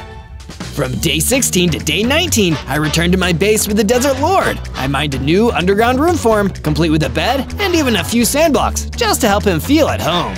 It's not exactly the desert, but thank you, Zozo. This'll do. Seeing as how exploring had helped me discover plenty of interesting new things so far, I decided to continue visiting new locations, so I left my base once more. I went out to the prairie next to see what I could find. That's where I ran into a camel. Hey, Mr. Camel, I'm Zozo. Is there anything I can help you with? The name's Joe. And as a matter of fact, there is. For the longest time, I've wanted to build a nice beach house on the Rainbow Beach, but it's infested by wraiths now. If you could help me clean out those wraiths so I can build my beach house, I'll give you a weapon I've been holding on to for a while. Something you might find useful. That sounds like a good deal to me, Joe. From day 20 to day 22, I journeyed out to the Rainbow Beach to complete my mission for Joe the Camel. It was a really beautiful place. I could see why he wanted a beach house out here. When I ran into the group of wraiths he told me about, I drew my katana and charged in, slicing and dicing in a way that would make any warden ninja proud. Soon, they were all defeated. I'm getting the hang of this whole ninja thing. Then, I saw something quickly moving towards me and noticed it was the Gold Creeper, one of the elite Shogun Skull warriors that Polly had told me about. Oh no, I gotta bounce! I didn't have any long-range weapons, so all I could do was run for my life as the Gold Creeper chased me. If it exploded while I was too close, I was doomed. But it kept chasing, getting closer and closer and closer. It started to get too close for comfort, so I jumped forward into some nearby water, hoping it would at least provide some protection. Boom! The gold creeper exploded! It was the biggest explosion I'd ever seen, taking a huge chunk out of the beach around me. But I'd survived! I'd completed Joe the Camel's quest, and I'd defeated one of Shogun Skull's three elite warriors. I'd call this a successful day. From day 23 to day 26, I returned to the prairie and met with Joe the Camel again. He was pleased to find out I'd gotten rid of the wraiths, and less pleased to find out the Golden Creeper had blown a big hole into the Rainbow Beach. Still, a deal's a deal, kid, and you held up your end. You can take this set of throwing axes I have. Since you're a ninja, you'll probably benefit from some thrown weapons, perfect for those stealthy kinds of attacks.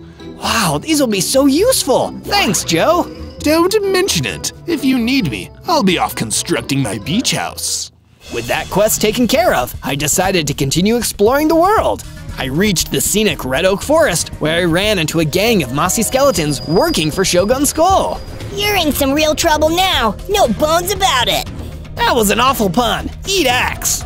I tried out one of my new throwing axes on the first of the mossy skeletons, defeating him instantly. Then I pulled out my iron katana to deal with the rest. It didn't take long for me to defeat them, all except one, who I needed some information from. Tell me what Shogun Skull is planning! Ha! You're deluding yourself if you think you can beat him. He just sent out the armored Vindicator. If that thing gets you, you're doomed! Doomed! With a strike of my katana, I finished him off. That gave me enough XP to level up, getting bigger, jumping up to 30 hearts, and getting access to my Warden Sonic Boom ability. This will be useful for helping me take on that armored Vindicator guy, if I ever even see him. From day 27 to day 31, I started making my way back to my base through the Ebony Forest. I was feeling pretty good about all my recent victories and the new abilities and weapons I'd gained. I'm actually feeling pretty unstoppable right now. And that's exactly when the armored Vindicator hopped out and attacked me. He was just as big and scary as the mossy skeleton had implied, and he was wielding a menacing axe. Your journey is at an end, Warden Ninja. If you give up now, I can promise it'll be relatively painless. I'll never give up. I'm willing to fight you to the bitter end. Good. I was hoping you'd say that. The armored Vindicator attacked once more. Every hit he gave me was shockingly damaging. Even with all my upgrades, I couldn't beat him at my current strength. Instead, I turned and ran back towards my base, narrowly managing to outrun and lose the armored Vindicator. That would be a battle for another day. When I reached my base, the Desert Lord and Polly the Pink Pixie seemed impressed with my new size. Looks like that training is really paying off, Zozo. You're looking swole. It's true. You're so much bigger and stronger than you used to be. And since you're here, I've also got something that I think you'd like. My research suggests that if you go to the Rose Fields and seek out the Sergeant, he may be able to give you some information that'll help you with your quest. Wow, that's amazing news! Just be careful out there. I've heard that the Sergeant isn't exactly the friendliest guy out there. With that in mind, I left my base and headed in the direction of the Rose Fields. From day 32 to day 35, following the Desert Lord's instructions, I went out to the Rose Fields. There, I saw the sergeant sitting down and meditating among the roses. I didn't expect it'd be so easy to find him. I approached the sergeant and called out to him. Excuse me, Mr. Sergeant. I've been told you have some interesting information. Could we talk about it? But the sergeant didn't seem like he wanted to talk. Instead, he got up, ran towards me, and started fighting me with his fists. I didn't even have time to reason with him. All I could do was fight back against his onslaught of punches. After I survived for long enough, the sergeant relaxed. He'd had his fun.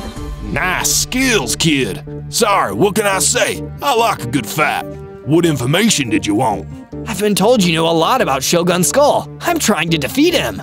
Ha, Shogun Skull. I fought against his army back in the day. I was involved in a lot of those battles. What is it you want to know about him? I want to know what the Warden Ninjas had to do with his rise to power, and I want to know why he wants us all destroyed now. That much is simple. As part of Shogun Skull's takeover plans, he needed to destroy the leaders and guardians of the free people to demoralize them and break their spirits. While his armies fought their armies, he needed an elite group of assassins to take out the high-value targets. That's where the Warden Ninjas came in. They are excellent assassins, and with their stealth skills, they could sneak in and get the job done. And they did their job very, very well.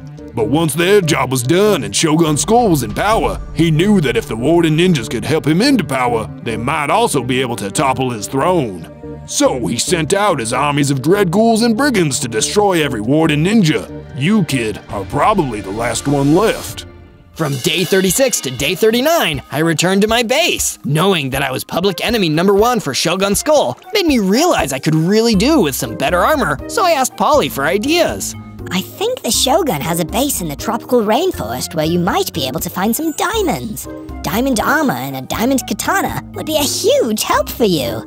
Excellent idea, Polly. I'll go there now. I didn't waste any time getting to the tropical rainforest and beginning my search for the enemy base. On the way there, I ran into an air elemental that lives in the forest. Excuse me, kind sir. I have a quest I need help with. Some nasty dead worms have invaded my beautiful rainforest. If you see them, do me a kindness and perform a little pest control, would you? Of course, I'll definitely get rid of those dead worms if I see them. I kept searching until I struck gold. Well, not actual gold. I found the enemy base, guarded by a pair of dread ghouls, and it was time to fight my way inside. From day 40 to day 43, the fight began! First with the Dread Ghouls. That was an extremely quick battle. I pulled out my throwing axes and threw one at each of them, defeating them instantly. Then I ran into the base, ready for the real fight to begin. And it would definitely be a real fight because the Armored Vindicator was in there, waiting for me. Finally, I can finish what I started and destroy you, Zozo. At least this time, you won't run away like a sad little coward like you did before. No, this time I really am going to fight you with all I've got.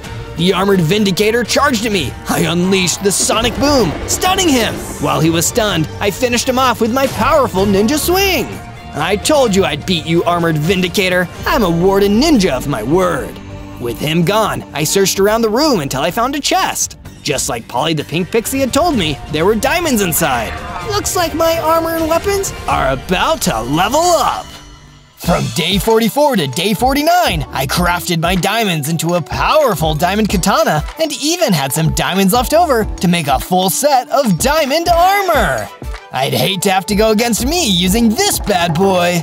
After that, I left the base with my new diamond katana in hand, looking forward to finding something to use it on. And as luck would have it, I happened upon a small gang of vicious dead worms. Hey, the air elemental told me to get rid of these. Time to kill two worms with one sword. Okay, a few more than two. With my diamond katana, I defeated all the dead worms with ease and destroyed the infestation. Not even the Shogun himself could deny I was stronger than ever now. From day 50 to day 53, as I traveled further through the tropical rainforest, I came upon a cave that I sensed an unusual amount of power coming out of.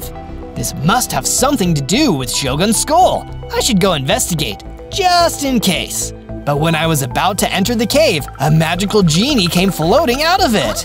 Halt, traveler. You are approaching the cave of the fire elemental. If you wish to enter, then you need to answer my riddle. I remembered that the Fire Elemental was the second of the elite warriors working for Shogun Skull. I needed to answer the riddle, get in there, and defeat him. Okay, what's your riddle? I belong to you, but your friends use me more often. What am I? It was a challenging one. What do you think? Do you know the answer to the riddle? If you do, let me know down in the comments to help me out. Hmm, can you repeat the riddle? I belong to you, but your friends use me more often. What am I? That's tough. Hmm. Wait, I've got it! You're my name. It belongs to me, but my friends use it more often when they talk to me. Correct. You may pass through. I entered the cave and saw the fire elemental waiting for me. He sent a few fire blasts my way, which I was luckily able to dodge. I fired a sonic boom at the fire elemental, then ran in with my diamond katana.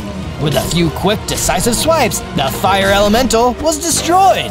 Two of Shogun Skull's three warriors were destroyed, and I was ready to level up. I got bigger, stronger, and my hearts grew to 40. I had also developed ninja speed, making me faster than ever before. I'm on the path to becoming a true ninja. I bet the Shogun is quivering in his boots. From day 54 to day 57, I was using my new ninja speed to zip through the forest. My powers were growing, but I needed some kind of way to hone my skills. Why can't I find the Ninja Master Mentor? I've searched everywhere and I still can't find him. Unless I've already found him and didn't even know. That's when it hit me. It was right under my nose from the very beginning. The nomad in his little hut in the ebony forest. The nomad who'd known a suspicious amount about what was going on in the world. I need to go back to the Nomad right now! So I sped right back to the small hut in the forest, only to see the Nomad outside again, waiting for me. I wondered when you'd be back, Zozo. Glad you finally figured it all out. So, are you ready to begin your training?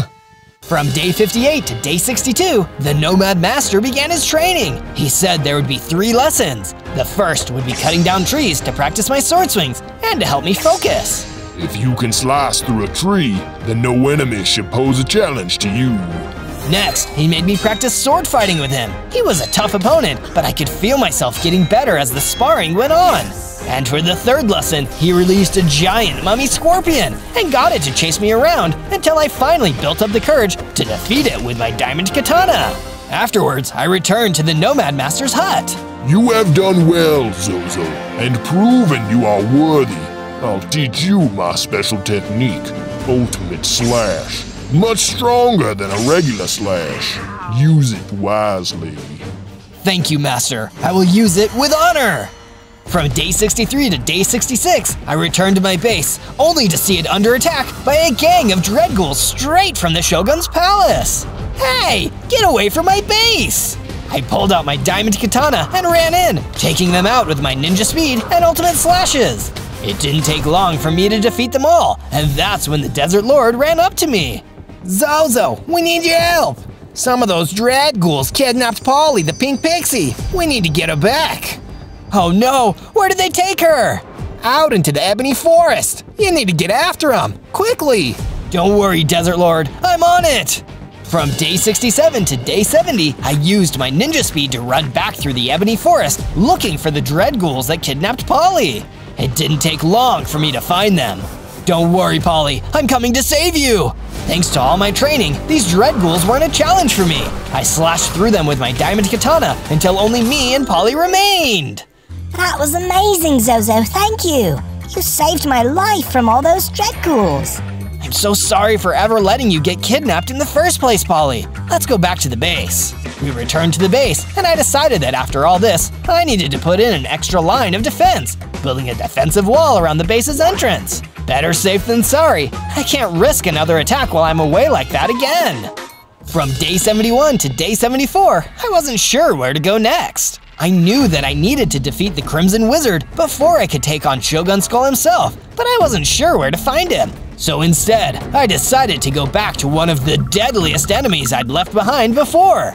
With my new skills and my diamond katana, I returned to the underground cavern where I'd faced the Hydra before. As soon as I entered the cave, I blasted him with a powerful sonic boom, momentarily stunning him, and ran in with my ninja speed, hitting him with ultimate slash again and again, faster than he could even regenerate from it. Thankfully for both of us, the Hydra tapped out and agreed to tell me anything I wanted to know. You're looking for the Crimson Wizard, right? No worries, I know exactly where he is. You just need to go to the Weeping Witch Forest. He's guarded by some brigands. Just go after him and leave me alone, please.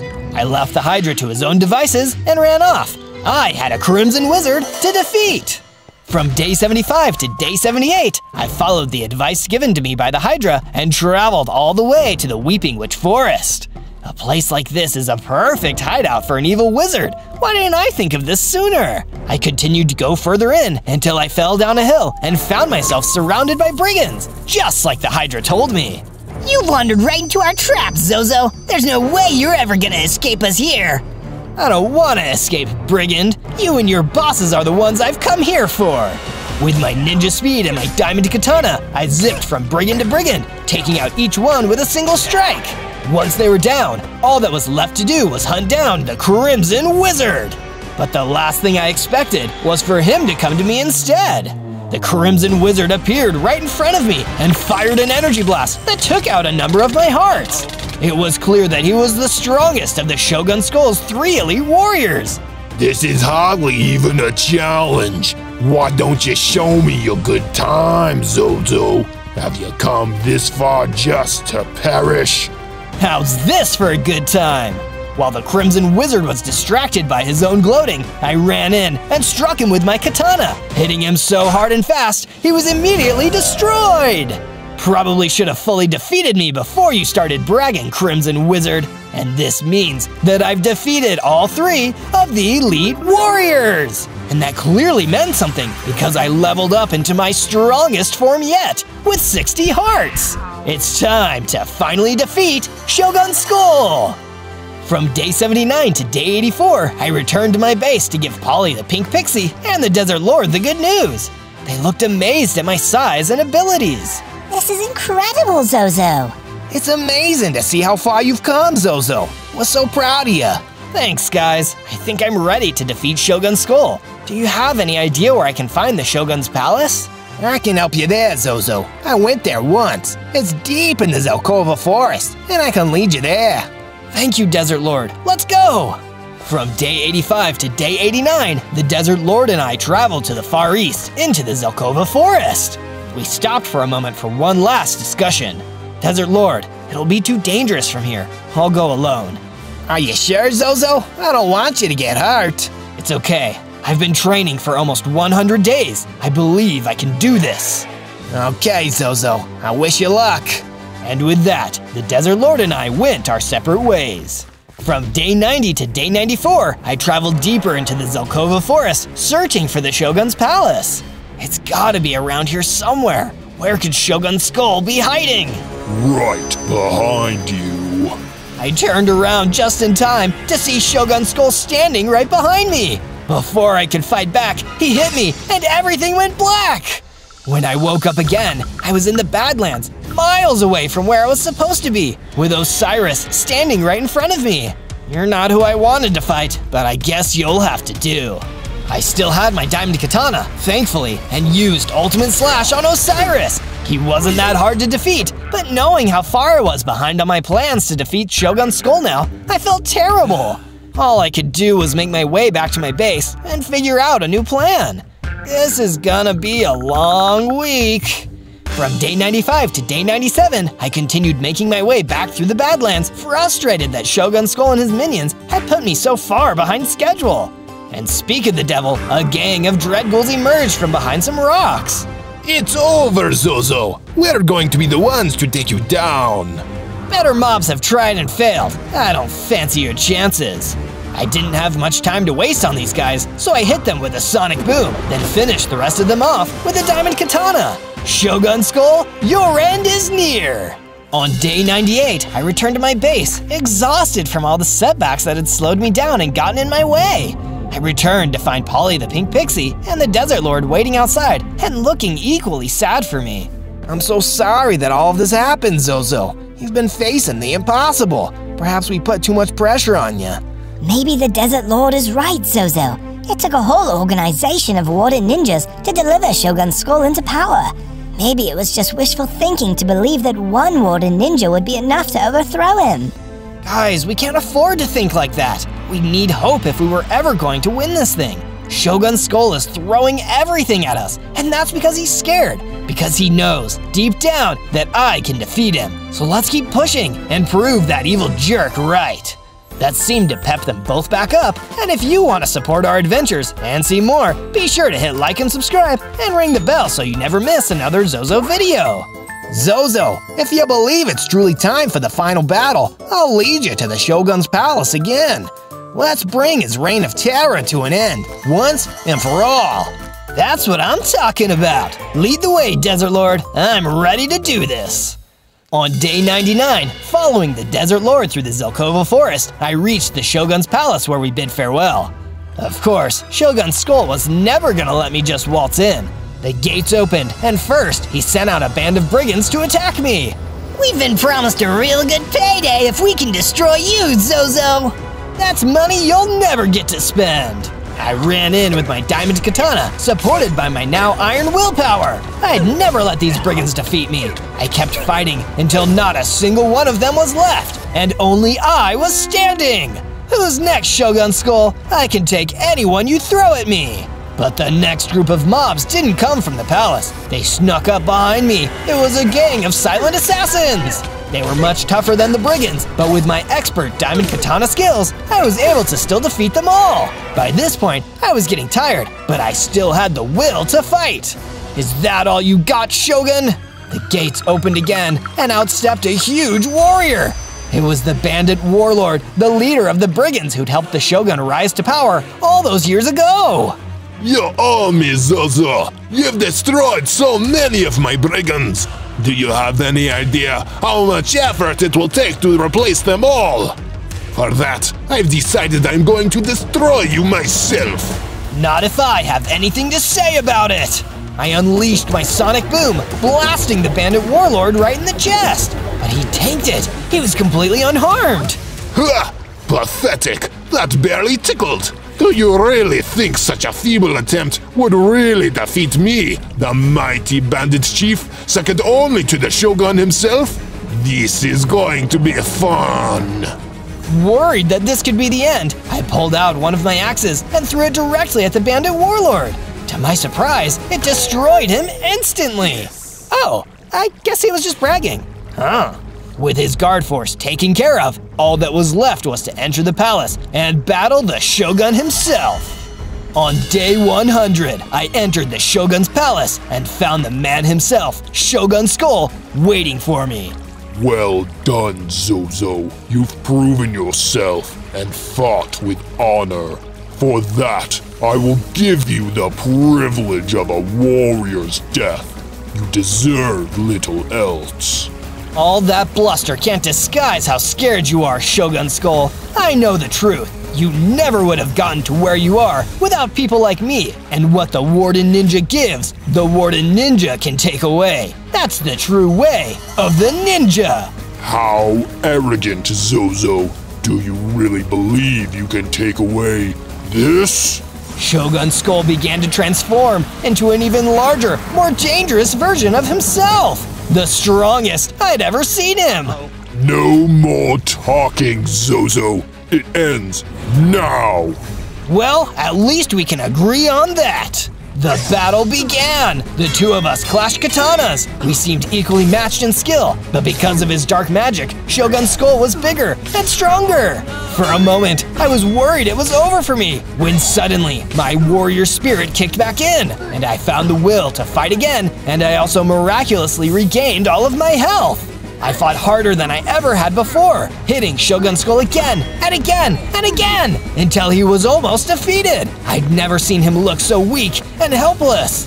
I charged up all of my strength, and with a single blast of my sonic boom, Shogun Skull was destroyed. And peace restored to the land once more. I love a happy ending.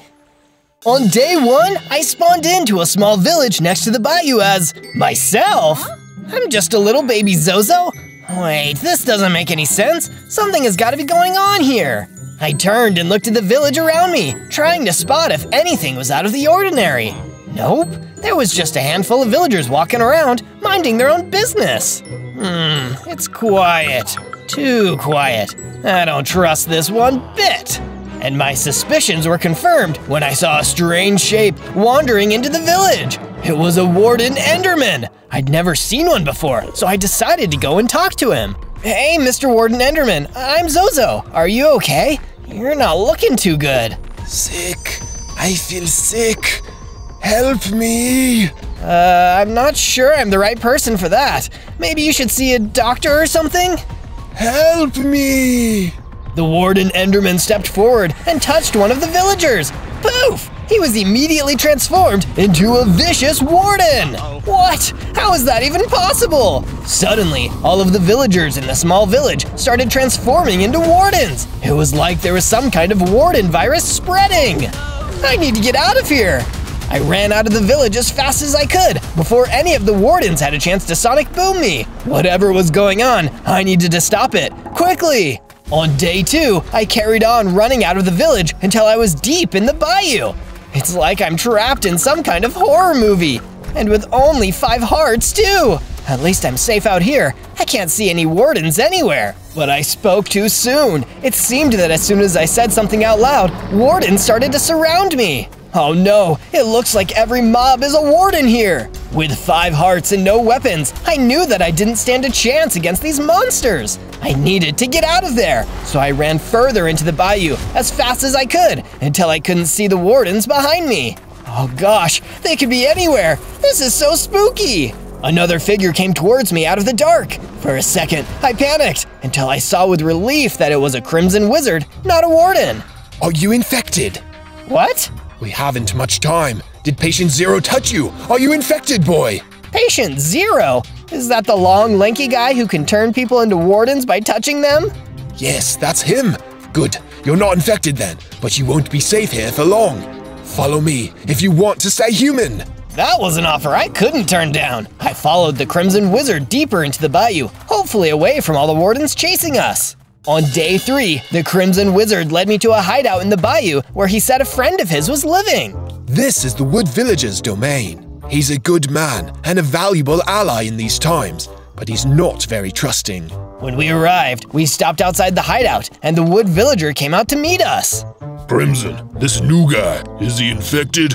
Cause if he's infected, I don't want him or you anywhere near this place. Don't worry, Wood, he's clean.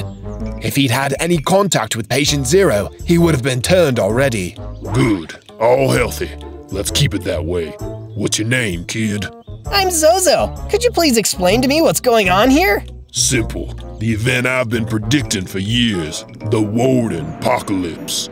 If we don't stay safe, everyone in the world could be turned into wardens, and those left will be destroyed by them. But why? What's causing this? We're not quite sure. We know it's infectious, and we know the Warden Enderman we call Patient Zero is part of it, but otherwise, we haven't a clue.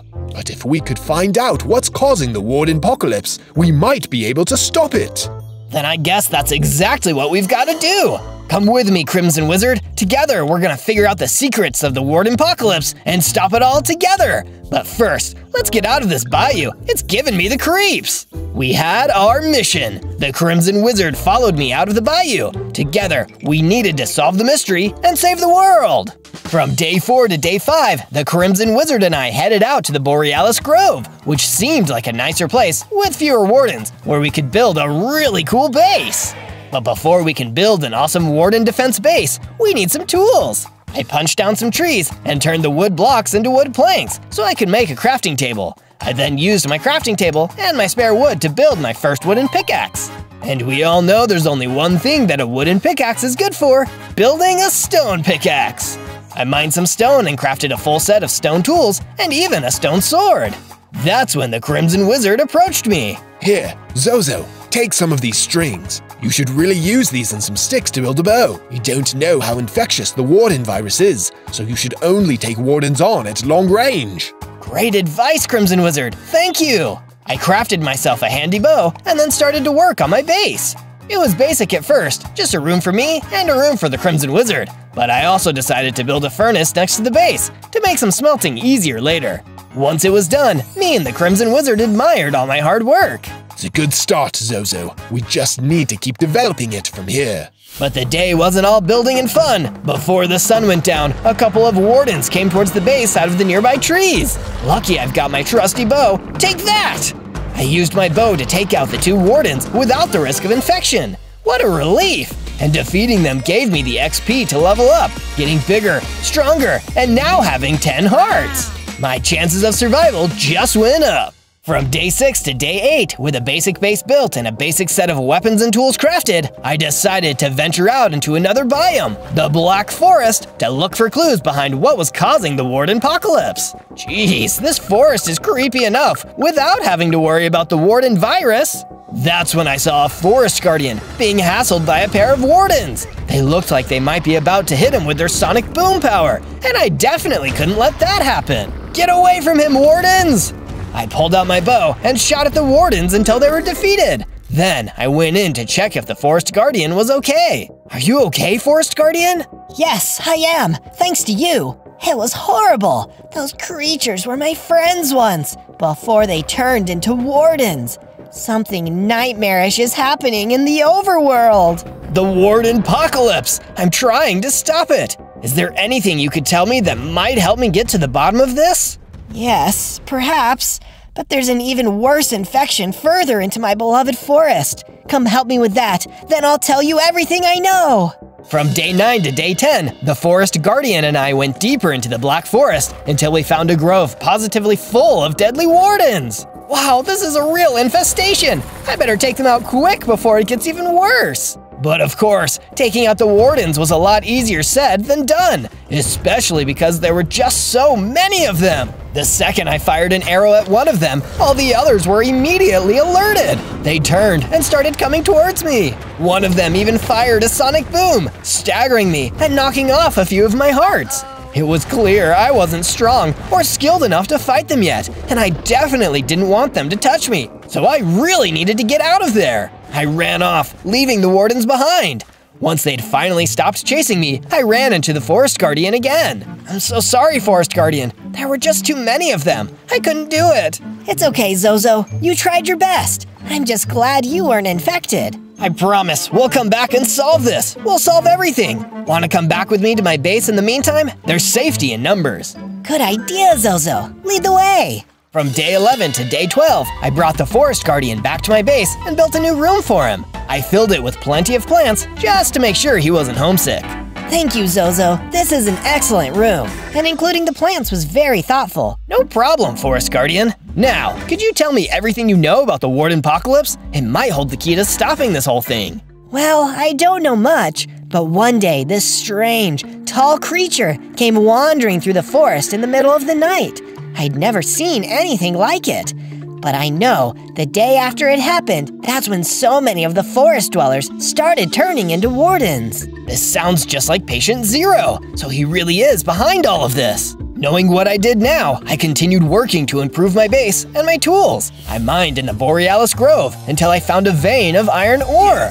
Took it back to my base and used my furnace and crafting table to smelt and craft it into a full set of iron tools. Now I need to make sure my other supplies are sustainable. I created a paddock on the grounds of my base and herded some sheep into it. After all, you can never be too careful during the Warden Apocalypse. From day 13 to day 15, I approached the Crimson Wizard, who seemed to be the overworld's biggest expert on the Warden Apocalypse. Crimson, I need your advice. I want to gather more information on the Warden Apocalypse, but I don't know where to start. Perhaps go to the lush red desert. There, we can see how these infected wardens react to different environments. If we're lucky, we might be able to find some kind of weakness we can use. Following the Crimson Wizard's advice, I journeyed all the way to the lush red desert to find out more.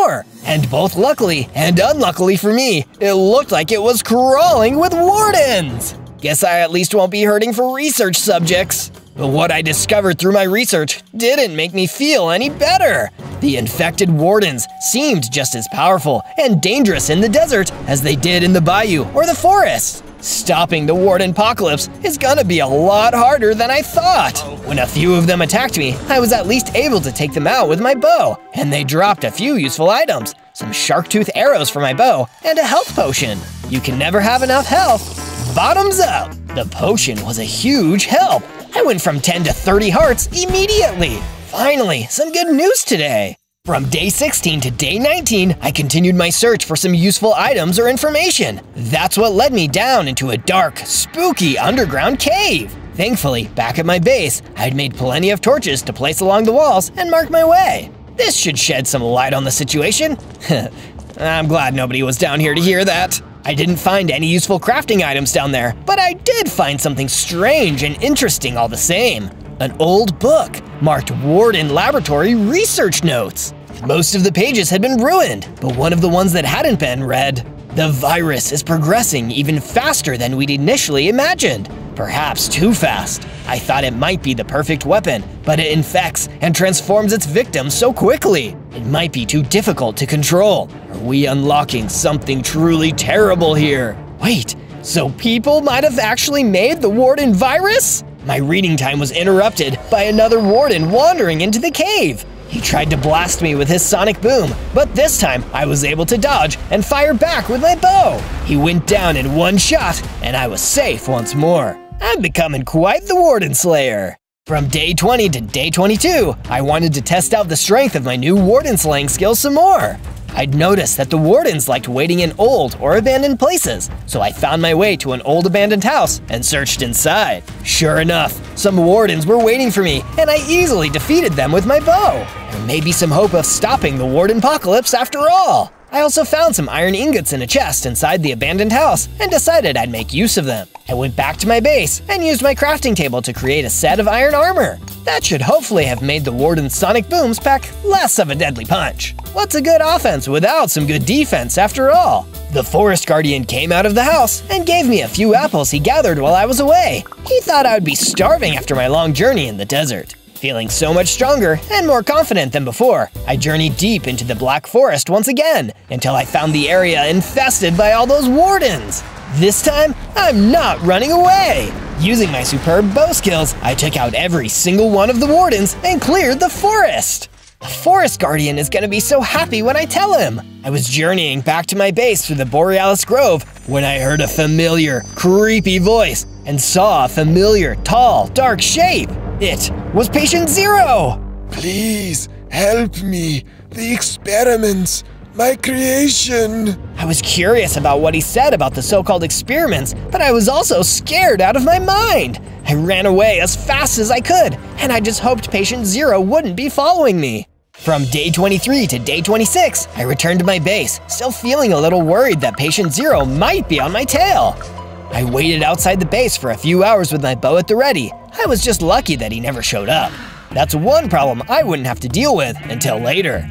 But I still had some good news to give. I ran over to the Forest Guardian, who was sitting outside and enjoying nature. Forest Guardian, I have great news! I went back to the Black Forest and drove out the Warden infestation. It should be safe for you to return now. That is great news, Zozo. Thank you for all that you've done. I shall return to the forest now. I wish you luck in bringing the Warden apocalypse to an end. Here is a reward for your help. He threw me an anvil and a flame one enchantment, and with that, the Forest Guardian left. Already, something else was on my mind. I got lucky that Patient Zero didn't follow me back this time. What if next time I wasn't so lucky? I really need to build some new base defenses and equipment upgrades. First, I upgraded my bow. I placed the anvil at my base, and with the help of the enchanted book Flame 1, I was able to enchant my bow to fire flaming arrows. This will really make it pack a punch. Then, I built a strong defensive wall around my base. You can't have a warden slaying fortress if wardens can just waltz right in at any time they like. After the wall was done, I stood back and took in how far my base had come. I might just be able to save the world! From day 27 to day 31, I decided it was time to have a change of scenery and explore further for more clues about the origin of the Warden virus. That's why I went to the White Beach. I think I'm onto something, and all this talk of secret labs and experiments, but I'm still missing important information. My thoughts were interrupted when I ran into a small gang of villagers on the run through the beach. They looked worried and frightened. Hey, are you guys okay? Far from it. An army of wardens attacked our village. Almost everyone was wiped out or changed. And now we have nowhere to live. You're in luck. Well, aside from the whole village destruction thing, of course. You can head back to my base in the Borealis Grove. I'll keep you safe there while I figure out how to stop the Warden apocalypse. While the villagers headed back to my base, I decided I'd collect a few blocks of sand for a construction project I was working on. When I returned to my base, I added more rooms for the villagers to sleep in. I also used my furnace to turn the sand into glass so I could give my base some windows. Perfect for keeping an eye out for the warden hordes out there. Just as I was standing back and appreciating my hard work, the Crimson Wizard ran towards me in a panic. Zozo, there's trouble going down in the bayou. Big trouble. I need your help. From day 32 to day 35, the Crimson Wizard and I ran back to the Wood Villagers' hideout in the bayou. Crimson was right about him being in trouble, because by the time we had made it to the hideout, it was already overrun with wardens. We'll come save you, Woody! No, don't be reckless. It's already too late for me. Get out of here and save yourselves. I didn't want to believe it was true. I pulled out my new fire enchanted bow and shot flaming arrow after flaming arrow into the wardens until none were left standing. Then I ran in to see how the wood villager was doing. Stop right there. But why? I saved you. No, you don't understand. I'm infected, Zozo. I'm sorry, but like I told you, it's already too late for me. Poof! The wood villager turned into a warden and fired a sonic boom at me. It was hard, but I had no choice. I fired a flaming arrow at the warden that had once been the wood villager, and he was no more. From day 36 to day 39, I needed to get away from the bayou and from the Borealis Grove. I was still so shaken up after what happened to the wood villager, I just couldn't stand it. That's why I went to the tropical rainforest, wandering around and feeling the sunshine and thick tropical air washing all my troubles away. That's when I ran into the illager from the faraway lands, a mysterious stranger walking through the rainforest. Hey, Mr. Illager! I was taking kind of a vacation day out here, but since you're around, would you happen to know anything about the Warden Apocalypse? Oh, I know a lot about the Warden Apocalypse. A lot. But I won't give you that information for free. It comes at a price. Name it. There are some more of those blasted wardens near here. They chased me out of my favorite part of the rainforest. Go destroy them, and we'll talk. Deal! Following the illager's instructions, I searched around the nearby forest until I happened upon a group of wardens wandering around, searching for fresh victims. It didn't take long for me to take them all out with my bow and flaming arrows. Then I made my way back to the illager, eager to find out more about what I was really facing out here. Tell me everything you know about the one they call Patient Zero, the Warden Enderman. He's the one who caused all this. I need to understand him. He wasn't always a monster. Well, not in the literal sense anyway. He was a scientist once, and quite a brilliant one at that. But as time went on, his experiments got stranger and stranger. And then, when people started refusing to work with him, he started doing experiments on himself. I imagine one day he went too far and became the patient zero you know today. So, he was normal once. Interesting. Maybe, deep down, there's something in there I can still reason with. From day 40 to day 43, I returned to my base, turning over all the new information I'd learned in my mind. I also missed having the forest guardian around, so I decided, as a tribute to him, to add a bunch more plants and flowers to my base. It really brightened the place up and helped to remind me about what I was fighting for. After I'd put in all these new beautiful natural decorations, I was approached by some of the villagers I'd sent back to my base earlier. They needed another favor. Zozo, we've heard from some friends and family members from other villages who have been chased out by the wardens too. They need a place to stay. Can they come join us here? Of course! Tell them to come over. I'll make room for them all. As the new villagers flooded in, I built barracks with bunk beds to hold them all. It made me feel safe to know how many people would be here at the base with us, and the villagers seemed happy with the new arrangement too. We couldn't be more grateful, Zozo. You're genuinely saving lives here. Please, all in a day's work. Though we were wondering if we could ask you for one more favor. We're a little worried about what happened to a village a ways north of here. We have family and friends there. Would you be able to go and check it out? Of course! If it puts your minds at ease and potentially lets me help more people, it's more than worth the trip. But when I made that agreement, I had no idea just how bad things would get. From day 44 to day 49, I followed the instructions given to me by the villagers at my base and traveled all the way to a village on the other side of the Borealis Grove. Hello? Anyone there? Gosh, this place is giving me the creeps! I walked through the village and found that nobody seemed to be there. There were a few little abandoned houses and one bigger house that I assume maybe belonged to the village mayor. But now, there was nobody here. Well, almost nobody. Suddenly, the last person I wanted to see, Patient Zero, came wandering out from between the houses. Must keep going.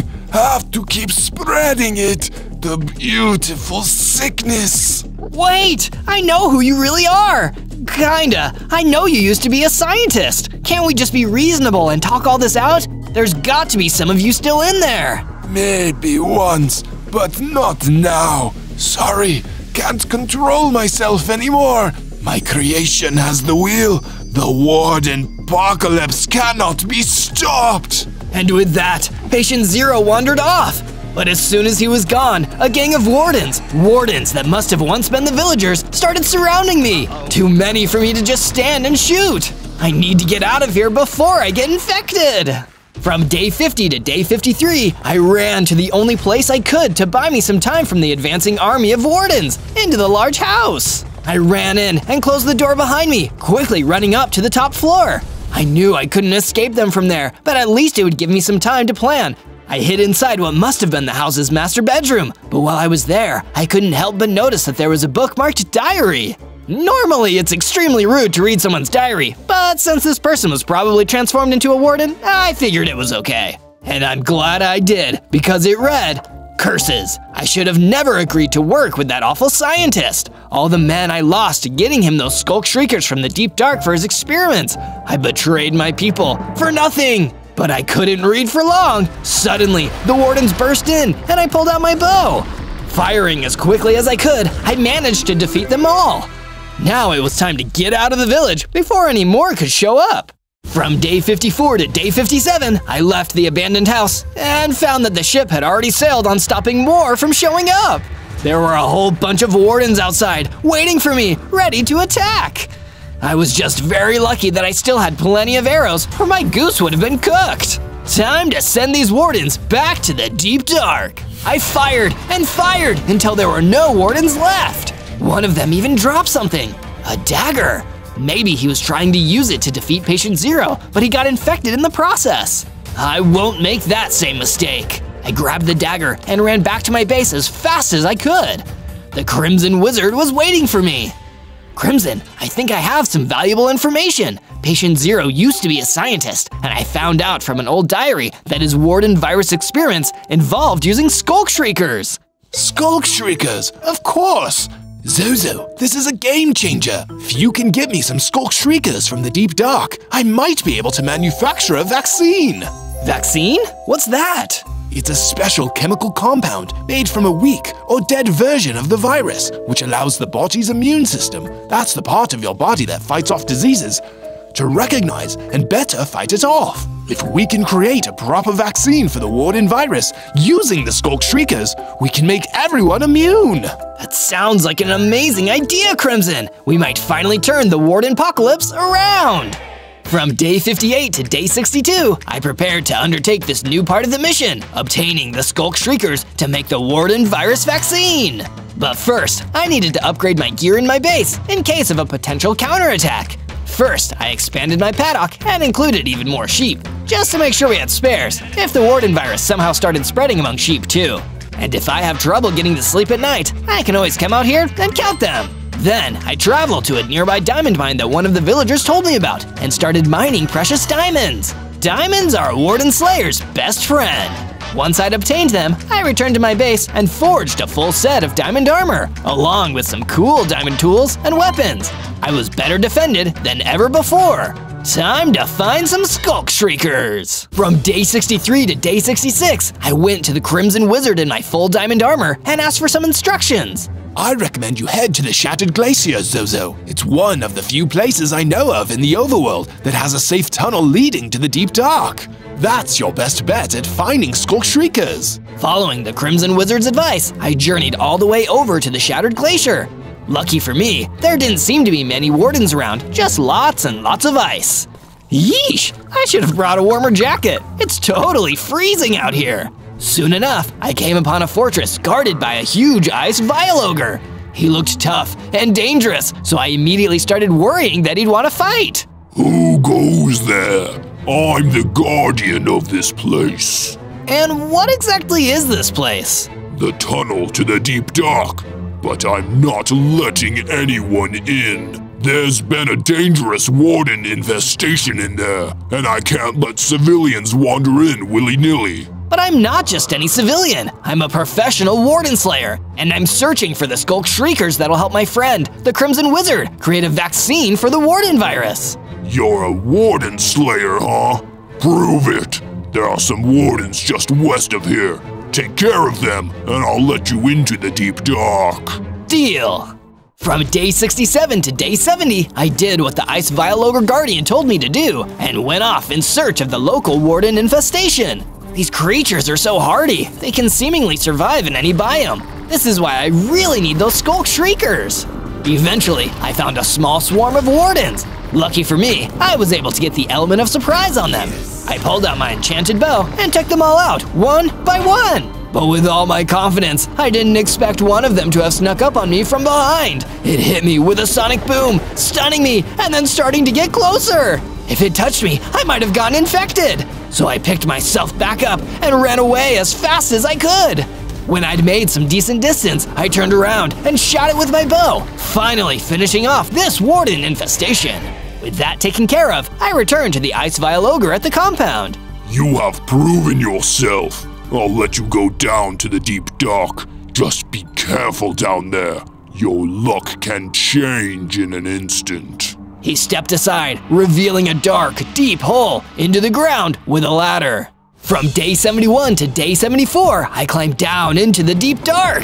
Just like the name said, it was really deep and really dark, and it took me forever to climb down there. When I reached the bottom, I realized that the Ice Vile Ogre's warning was completely true. There were several wardens at the bottom, waiting for me. I needed to pull out my enchanted bow and shoot at them to scare them away. Maybe the Crimson Wizard should have sent somebody else to do this. After I'd defeated and scared off some of the wardens, I searched deeper into the deep dark. It was certainly spooky down there. Luckily, I eventually found some Sculk Shriekers and used my diamond pickaxe to harvest them. Hopefully this will be enough for the Crimson Wizard to start producing the vaccine. I was heading back to the ladder when suddenly a familiar figure wandered out of the darkness towards me. It was him, Patient Zero! What are you doing here? I'm trying to collect more samples for my research. Are you a thief, little one? In a panic, I pulled out my bow and tried shooting him, but it didn't have any effect. Oh. And I didn't want to get any closer in case I got infected. I ran around him as fast as I could and started climbing the ladder back up to the surface. I still wasn't ready to face him just yet.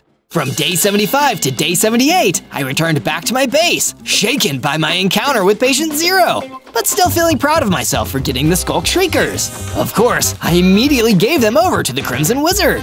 This is amazing, Zozo. Give me a day or so and I'll see what I can whip up. While the Crimson Wizard was working away on the vaccine for the Warden virus, I decided to make some base improvements, like making the wall taller so I could have better defenses against Warden attacks. By the time all my construction projects were done, the Crimson Wizard had something for me. I think I've done it, Zozo. I think I've created a Warden virus vaccine potion. But I need to be able to test it before we give it to people. It's okay, Crimson. You can test it on me. Are you sure, Zozo? It's still experimental. If it helps save the world, it's a risk I'm willing to take. I drank the Warden virus vaccine, and the change was immediate. Not only was I now immune to the virus, I was bigger, stronger, and had 60 hearts. These results are incredible, Zozo. We must share it with the world. Here, take as many Warden virus vaccines as you can carry. Give them to as many friendly people as you can. Together, we'll stop the Warden apocalypse once and for all. From day 79 to day 84, I decided I'd take advantage of my new immunity and roam the Badlands, taking on any warden that I saw. It felt great to finally be on top of things and know that the end of the warden apocalypse may finally be in sight. During my exciting warden slaying adventures, I came across an old hunter also wandering the Badlands. Mr. Hunter, my friend created a warden virus vaccine. If you and everyone you know takes these, you can avoid getting infected. Please take a bunch. This is incredible! What do you want in return, kind sir? Nothing! The more people have these, the safer we're all going to be! Then please, as a token of my gratitude, at least take this crossbow. I've used it on many a warden myself. Believe me, it packs a mean punch. Thank you, Mr. Hunter. I'll use it well.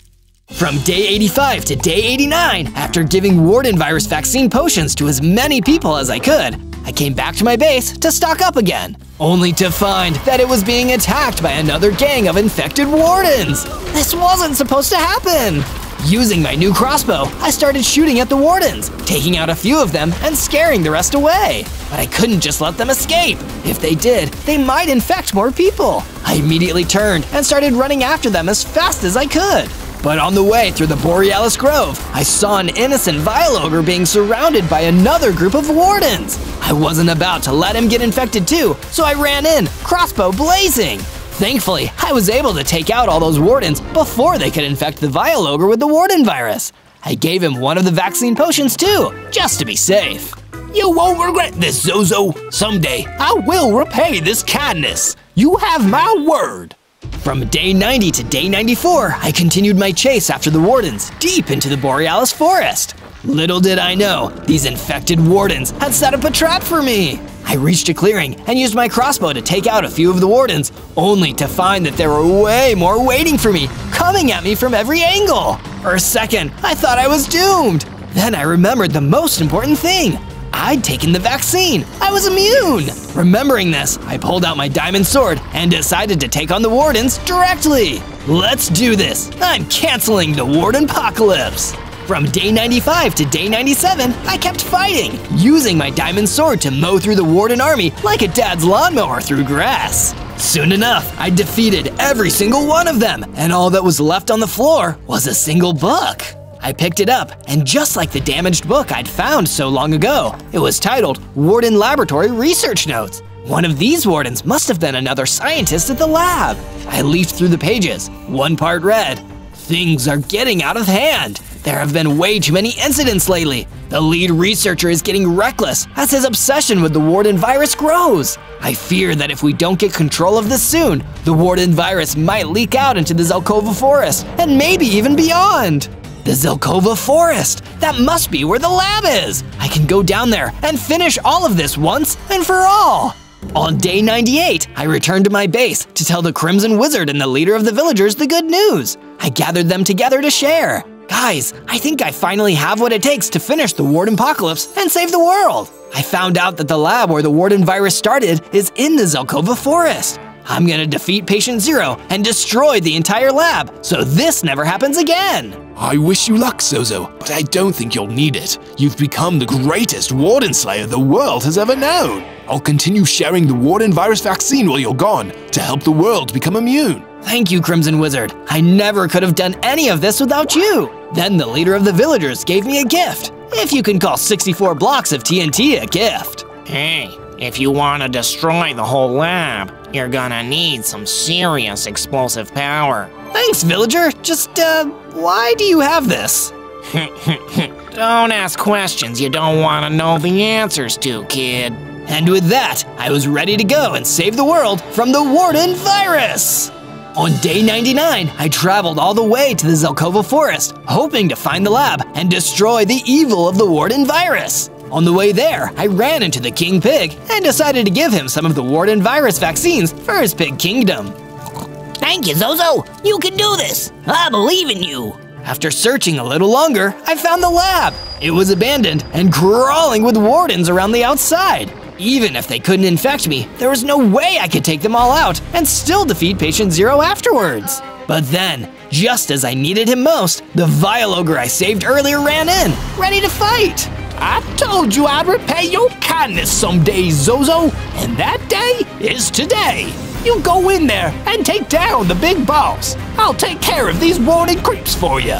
On day 100, I entered the abandoned laboratory, which was somehow even creepier than the deep dark. I wandered through the halls, encountering warden after warden and taking them down with my crossbow. It was why the only way to end this was to defeat Patient Zero and destroy the lab altogether. Eventually, in the largest room of the lab, I found him waiting for me. It's time for this to end, Patient Zero. The warden apocalypse is over. Fool! You have no idea what you're dealing with. The Warden Apocalypse is just beginning. On a long enough timeline, the virus will mutate, becoming bigger and stronger until nobody can stop it. That's why I need to stop you right now. He hit me and was astonished to see that I didn't transform into a warden. No, this is impossible. How could you be immune to my beautiful virus? We took the vaccine. It's over, Patient Zero. There's only one cure for you. I pulled out my dagger and destroyed Patient Zero in one shot. All that was left to do was destroy the lab itself, so nobody could ever find his work. I went back outside and put TNT all around the lab, completely surrounding it with the explosive blocks. Afterwards, I stood back and fired a single flaming arrow. Boom! The lab was completely destroyed, and the Warden Apocalypse was truly over. On day one, I spawned in as a baby dragon. Whoa, I'm no ordinary dragon. I'm a warden dragon. I opened my mouth and shot out some dragon breath, then shot off a sonic boom. They were both pretty weak, but still cool. That's when I noticed a nearby ender dragon and warden. Hey, I have the same powers as you guys. You must be my parents. My mom and dad were excited to see me, and everything was happy. But suddenly, a big buff evil Steve came out of nowhere. What's this? A warden and a dragon combined? I already hate dragons, but a dragon combined with a warden is even worse. Run, Zozo. We'll hold him off. I wanted to help, but she was right. I was too weak. As I watched the battle, I saw that Buff Steve was able to destroy my dad. No, how can he be so powerful? Buff Steve then captured my mom. I had to hurry away. You get back over here, or your mom will never be free. Don't worry about me. Run to a portal and destroy it behind you. I listened to my mother like any good boy should and ran away before Buff Steve could capture me. I ran into a nether portal to escape. On day two, I came teleporting through a nether portal, landing in the overworld. I turned and shot off my sonic boom, destroying the portal behind me. I don't know how much time that buys me, but I have to get stronger to save my mom. If I was going to save my mom, I had to get the gear to do it. Using my claws, I began gathering up some nearby materials in order to build a base. I don't need anything fancy yet, I just need something that can keep me safe. Speaking of being safe, I was suddenly attacked by a bear. Get back! I have claws too! But trying to win this fight was foolish. I had no choice but to run. Oh boy, it looks like the overworld is just as dangerous as the nether. I kept running until I found myself on a nice, steep mountain. If I hollow this place out, this could make for a perfect base. Excited with the idea, I got right to it, building my base. I have so many ideas of how I can improve it, but we'll start simple for now. Soon, the start of the base was ready. I feel like it's going pretty good so far. Tomorrow will bring me one step closer to saving my mom. On day three, I kept mining down into the mountain when I popped out on the other side. But as luck would have it, there was something unexpected. Is that an ender dragon nest? It looked like there was an egg inside of it too. Just then, a phantom appeared. He got closer to the egg. He was going to eat it. Oh, no, you don't. The dragons are my friends. The phantom clearly didn't expect anyone to be here, and I was able to hit him hard. In no time, I managed to take him out. Finally, it feels good not to run away for once. And what's this? The phantom had dropped some phantom skin, which I picked up. With it gone, I was able to get really close to the egg. That's when I saw there was a note nearby. My dear child, if you are reading this, then something has happened to me. I was setting out in search of food for us. It is very likely that a powerful being called Steve may come after us. He collects powerful creatures like us dragons. Take care and stay safe. Oh no, it's not just me. Dragons everywhere are in trouble. It's not enough to just save my mom from Buff Steve. I'm going to have to defeat him. I quickly picked up the egg to take it back to my base. I could keep it safe there. On days 4 to 5, I arrived back at my base. I got right to work building an incubator for the egg. If it was going to hatch safely, it needed a good environment to thrive in. Just as I finished up, I heard a noise outside. I ran out and saw even more phantoms. Oh man, you guys really want this egg! Well, just try and take it. The phantoms did their best to take me out, but they were no match for me. They would have to try harder than that if they wanted to win. With the two phantoms defeated, I picked up the phantom skin they had dropped. Oh, I know just what to make with this! I went over to my crafting table and used the phantom skin to make myself some phantom skin armor. It was about as strong as leather armor, but it would be better than nothing. On day 6 to 8, I was starting to get hungry and decided to go look for food. I was a little nervous about leaving the egg behind, but if I couldn't get food, then no one would be able to protect it. I soon came across a village. Hi there, please, do you have any food to spare? The villagers took one look at me and ran away. I guess they weren't used to meeting friendly dragons, or friendly wardens for that matter. Well, no one is around, so bon appetit. I got right to work attacking the animals around. Sure, it felt bad to hurt other animals, but hey, a dragon's gotta eat. And there's no way I was going to eat a salad. At last, I found you! I looked and saw Buff Steve standing there. This time he had on dragon armor. He was even stronger than before. You, what do you want? Isn't it obvious? You! He clearly wasn't in the mood to chat, and I had no choice but to fight. I started swinging, but it was clear he was too strong. Looks like you're all mine. I saw a window to escape, and I took it. I had to get out of there, and fast. Ah, you might have slipped away this time, but mark my words, I'll find you. He was probably right, but today was not that day. On days 9 to 10, I had made it back to my base. That's when I heard a noise coming from the incubator. Oh no, the egg is in trouble! I ran into the room to find the egg was still there, but it was hatching. Suddenly, a small baby ender dragon climbed out. Are you. Are you my mom? Who, me? No, I'm Zozo. Oh, so where's my mom? Uh, I'm not sure, but she left this note in your nest. It was there when I found you, and then I brought you here to keep you safe. The little dragon read the note. I guess being able to read was a gift us dragons get at birth. I see. Hmm. I wish I could have just stayed in my egg. It's sad out here. Hey, it's okay. There's a lot of cool things to do in the world, too. Really? Like what? I thought about it for a moment, then told her to follow me.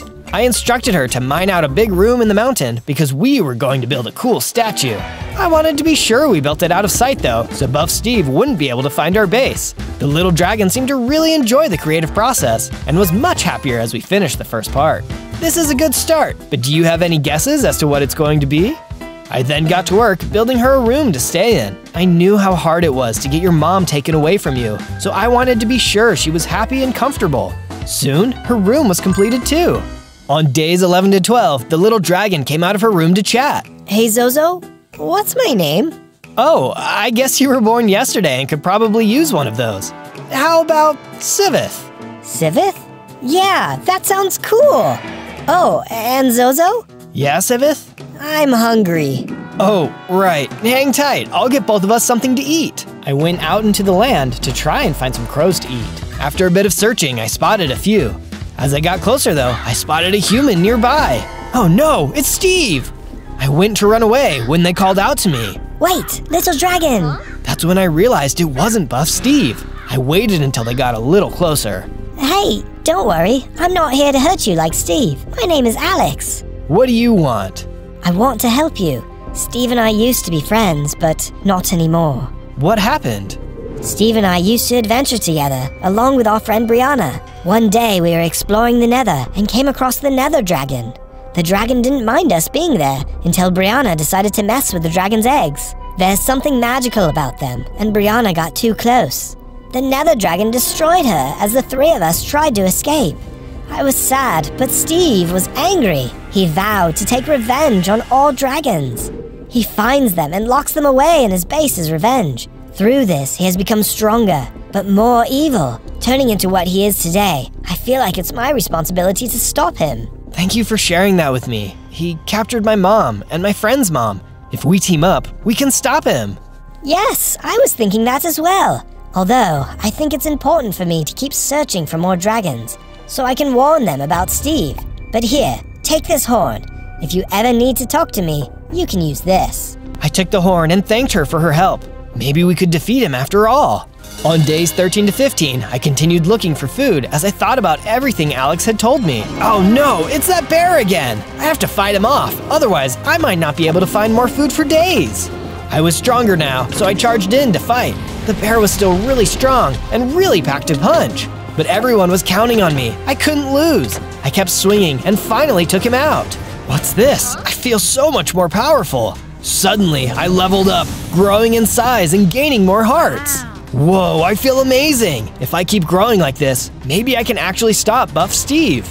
I quickly gathered up the chickens and started leading them back to the base. On days 16 through 19, I arrived back at the base with the chickens. I got right to work building a coop for them to live in. Once the coop was complete, I went over to Sivith to tell her about the chickens, and also Alex. This Alex sounds really nice, but I do have one question about everything you told me. What's that? Why are we eating eggs? Dragons come out of eggs too, so that seems kind of weird. Uh, yeah, I don't know. It's different. Try not to think about it too much. I left Sivith to think about life and got to work building a mine. I might be able to grow in strength, but I can also build strength by making better armor and weapons. Speaking of which, I found some iron. Oh, perfect! I can finally get rid of my leather armor. This is great! Back in the base, I smelted down all of the iron, then used the iron to make myself a fresh set of armor and weapons. I'm feeling better already. On days 20 to 22, I woke up with a bad feeling in my stomach. I went to Sivith's room and saw she was missing. Sivith? Sivith, where are you? Just then, I heard another sound. It was the horn Alex had given me. She was calling me. I ran out of the base toward the sound. Maybe Alex knew what had happened to her. Soon, I saw Alex. What's going on? Zozo, I called for you as soon as I could. I caught sight of Steve. He was chasing a baby dragon. That's not your friend, right? I don't know. It might be. She wasn't in her room this morning. Oh no. I'm not strong enough to face Steve yet, but I'll tell you where you need to go. Alex explained where she saw them, and I hurried off. I soon got to the place Alex described and saw Steve was about to capture Sivith. I had to do something. Hold it right there, Steve. I jumped between the two of them. Ah, out of my way! I hate dragons, and this one is no different! Wait, you're that warden dragon I saw earlier! You're the worst kind of dragon of all! Quick, Sivith, run! Steve wasn't paying attention, and Sivith was able to get away. Steve was then so distracted by her escaping that I was able to escape too. Hang on, you're not getting away this time! Steve chased after us, and I tried to knock him back while Sivith got away. He was still too strong, but I was able to get enough hits in to stop him from capturing us. Sivith managed to get away. Soon after, I was able to lose Steve in the trees. Sivith and I met back up, then hurried back to the base. On days 23 to 26, Sivith and I arrived back at the base. I was really worried about what had happened. I'm so sorry, Zozo. Are you mad at me? That depends. What happened? Did Steve find our base? No, I left to go and find more supplies to upgrade our stuff when Steve came out of nowhere and tried to grab me. So you don't need to be mad because he didn't find our base. I would have been worried if he found our base, but I'm mad that you left. You could have been captured and I would have never seen you again. I could tell Sivith felt really bad. Look, it's okay. I'm sorry for being mad. I know you were just trying to help, but right now it's too risky. Promise me you'll stay at the base from now on? Okay, I promise. But Zozo? Yeah? Before Steve popped out, I did see something interesting. I think you should go check it out. Sivith explained where I needed to go, and she was right. It did sound like a good place to go. Nice one, Sivith. I'll go take a look. After a bit, I arrived at the place she described. It was a large temple. I stepped inside and was immediately attacked by a bunch of husks. Oh, go drink some water, you dust heads! The husks did their best to bring me down, but I took them out first.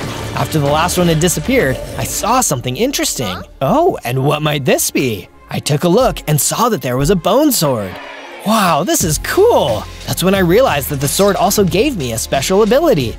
Now I could spit spikes. Now that is awesome and mildly confusing. I tested it out, sending spikes shooting at the wall. As I hit the wall, murals started to appear. Just then, a mummy came out and attacked me. Oh, someone is jealous of my spit takes. I kept launching spit spikes at him, slowly wearing him down. He was not a fan, but it didn't matter because I had to survive this. Soon enough, he was gone. So what's up with these murals? I took a closer look and realized they told the story of an epic adventure. One you can watch if you search for my channel, Zozo, Z-O-Z-O. This is when I survived 100 days as Moses. You'll really like that one if you're liking this one so far. On days 27 to 31, I had left the temple and arrived back at the base. As I entered my base, I could barely recognize Sivith. She was now the same size as me. Wow, Sivith, you're even stronger now, and I know just the way to celebrate. Sivith and I headed out to do some more work on the statue. Sivith felt like a little sister to me, and I was happy to have someone on my side. Together we could do anything. We were finishing up the next part of the statue when Sivith had a thought of her own to share. This is looking good, but something isn't quite right. Feels like it could use a different material. Hmm, I think you're right, and I know just what to get. I took off to grab the material I had in mind. I am a little bigger now. I wonder if I can fly. I gave it a shot and found that while I couldn't fly, I could glide. Well, that's better than nothing. I soon arrived at the bottom of the hole, but was soon attacked by stragglers. Out of my way, I've got a statue to save. The stragglers did their best to knock me down, but they were no match for me. With them out of the way, I quickly found what I was looking for. This amethyst is just what we need. I can't wait to see if it looks good on the statue. I mined up as much amethyst as I thought we'd need, then got ready to head back to the base. The statue is going to look amazing now. On days 32 to 35, I was on my way back to the base when I was attacked out of nowhere by piglins. What are you nosy oinkers doing out here? I fought them off using everything I had until the last of them were defeated. That's when I heard something nearby. Hey, were you hiding from the piglins? It's okay now. Ah, the dragon is talking to me. The villager was so scared and tried to get away from me. But just then, another piglin popped out and started chasing after him. Hey, watch out! I rushed over and took on the piglin. In no time, I was able to defeat him. You saved me? Wow, thanks. No problem. Where did all of these piglins come from anyway? I'm not sure, but my village is full of them. We could really use someone like you to come and clear them out for us. Would you be willing to help? Say no more. I'm on the case. On days 36 to 39, I followed the villager back to his village. As we got closer, I could see he was right. The village was full of piglins. Let's try to get a better view of what's going on. We snuck around the outside of the town to get a better viewpoint of what was happening. You see that structure in the middle of the town? That's where everyone is probably hiding out. Got it. Hang back. I'm going to rush in there and get everyone out. Whoa, hang on. I know you took those guys out back there, but those were just low level scouts. You can't hope to take on all of those guys down there at once. Okay, so what do you suggest?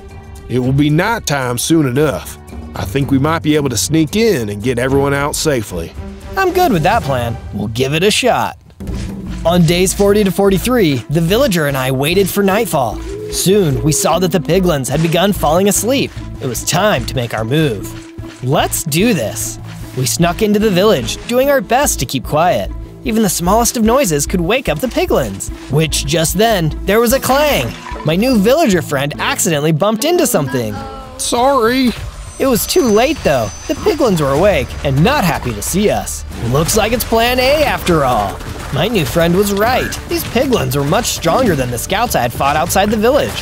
What he wasn't right about though was my ability to take them on. I was tough, and the piglins fell one by one as I took them out. Soon enough, they were all defeated. Zozo, you did it! We then went over to the scared villagers, who weren't exactly happy to see me. Don't worry, everyone. He's a friend. I know dragons can be scary, but Zozo here was the one who rescued all of us. We owe him our lives. The villagers were happy to find out I wasn't there to eat them, and it felt good for people to see me as the hero. Thanks again, Zozo. And in the future, if there's anything we can do for you, just let us know. Will do. Now I've got a statue to go work on. On days 44 to 49, I returned to my base and got to work adding the amethyst to the statue. Sivith was right. This was just what it needed. All right, now we're making some good progress, but still have a ways to go. What do you think so far? All of the building and rescuing from the previous days had made me realize how badly I needed to be protecting myself from attack, so I made sure to do some work on the base. We were going to need strong defenses and traps if Steve ever found us. It had been a while since I had run into him, but I was sure something was going to happen with him soon. On days 50 to 53, I received a message from Alex. Steve and his goons were on the way to my base. How did they find us? All I know is that he was told something by a villager. A villager? After everything I did for that guy, he still didn't trust me. Hmm. Oh, no, not the guy that was working with you. Just someone from his village. Still, it's a shame they would sell us out like that. Well, thanks for the warning. I'll go tell Sivith. I ran over to Sivith. Get ready, Sivith. They're coming for us, and we're going to be in for the fight of our lives. Meanwhile, outside the castle, Steve soon arrived with a gang of other players. Oh, Zozo, the jig is up. We're here for you and that little friend of yours. I don't care what you want. We didn't do anything to you. Let us live our lives in peace. Peace is not an option. Attack! Steve motioned for two of his soldiers to charge. As they got closer to the door, our trap started firing arrows, which quickly took them out. You're smarter than you look, but there's plenty more where that came from. Next up came an archer who did their best to try and disable our traps, shooting flaming arrows into them. Unfortunately, that seemed to do the trick, and the trap stopped working. Two griefers came up to the door, laid some TNT, and lit it. But suddenly the traps came back to life, taking out the archer and trapping the griefers in. There was an explosion, which took them out, but also took out the traps and door. The base was open now, though, and the players started to run in, but not before falling into my pitfall trap. Another noob tried running in too, but fell right into the hole. Just then, someone vented in through the side and took a look in the hole. Unfortunately for them, their Spec Ops teammate popped in and knocked them down the hole. These guys really need to learn to work together. He filled in the hole, and the rest of the team charged in. Bring it on! The players charged at me while I did my best to fight them off. Leave us alone! We didn't do anything to you! Most of the players were pretty weak, but I could hear someone setting off explosions in the background. I had to hurry. I had defeated most of the players when one stronger one with a flaming sword stepped up to fight. Look, man, you don't want to mess with me. The player simply attacked. His flaming sword was really strong and kept setting me on fire. Yeah, okay, I see why people don't like Dragon's fire breath. Ouch! He was tough, but my attacks were getting the job done. I could tell he was getting weak, and I got him lined up with the edge. Have a good flight! I hit him hard, sending him flying over the edge. Just then, I felt the energy surge through me, and I grew into an even bigger dragon with more hearts. Yes, I feel amazing! Just then, I heard Sivith let out a cry. She was in trouble. I looked and saw she had been captured by Steve. Ha ha ha! Say goodbye to your little friend. Steve ran out of the base with Sivith in chains. I've got to stop him! I ran out of the base, but two more of Steve's players were waiting for me. They weren't very strong, but they gave Steve enough time to get away. I knocked them out, but it was too late. Hang on, Sivith. I'll find you! On days 54 to 57, I got out the horn and gave Alex a call. She arrived soon after. Zozo, you look so sad. What's wrong? They got Sivith. I've never felt so hopeless. Do you know where they might be taking her? I'm sorry, Zozo. I really wish I could help, but I have no idea where they could be going. I could tell Alex felt really bad, and she offered me some raw beef to cheer me up. Look, we'll find her. In the meantime, let's get this place fixed up. You won't be of any use to Sivith if they come back and capture you too. I agreed, and Alex and I got to work repairing the base. We had soon finished up the repairs, but I was still feeling a little bit down. One thing that I thought might help, though, was working on the statue. Alex offered to help on that as well, which made me grateful to have a friend in her. I was so worried about myself and my problems, I hadn't really thought much about what Alex was going through. Thanks for all of your help, Alex. I know you're going through a lot too, so it means a lot you are willing to help me. Anytime, Zozo. Now take care. I've got some things to take care of. I said goodbye and got ready for bed. Tomorrow I would figure out what I needed to do to save Sivith. On days 58 to 62, I headed into the mines. I didn't know where I needed to go to find Sivith, but I knew I needed to be stronger before I could do anything anyway. As I explored the mines, I was suddenly attacked by silverfish. Ah, these guys have always grossed me out. They were quick little buggers and hard to hit. Lucky for me though, I was able to take them out without taking too much damage. I continued into the mines and soon found some diamonds. Excellent, this is just what I need. I swung my pickaxe and gathered up lots of diamonds. I was going to have much better gear now. With all of my diamonds collected, I made my way back out of the mines. Back in my base, I got right to work crafting all of the diamond gear that I could. Steve wasn't going to know what hit him.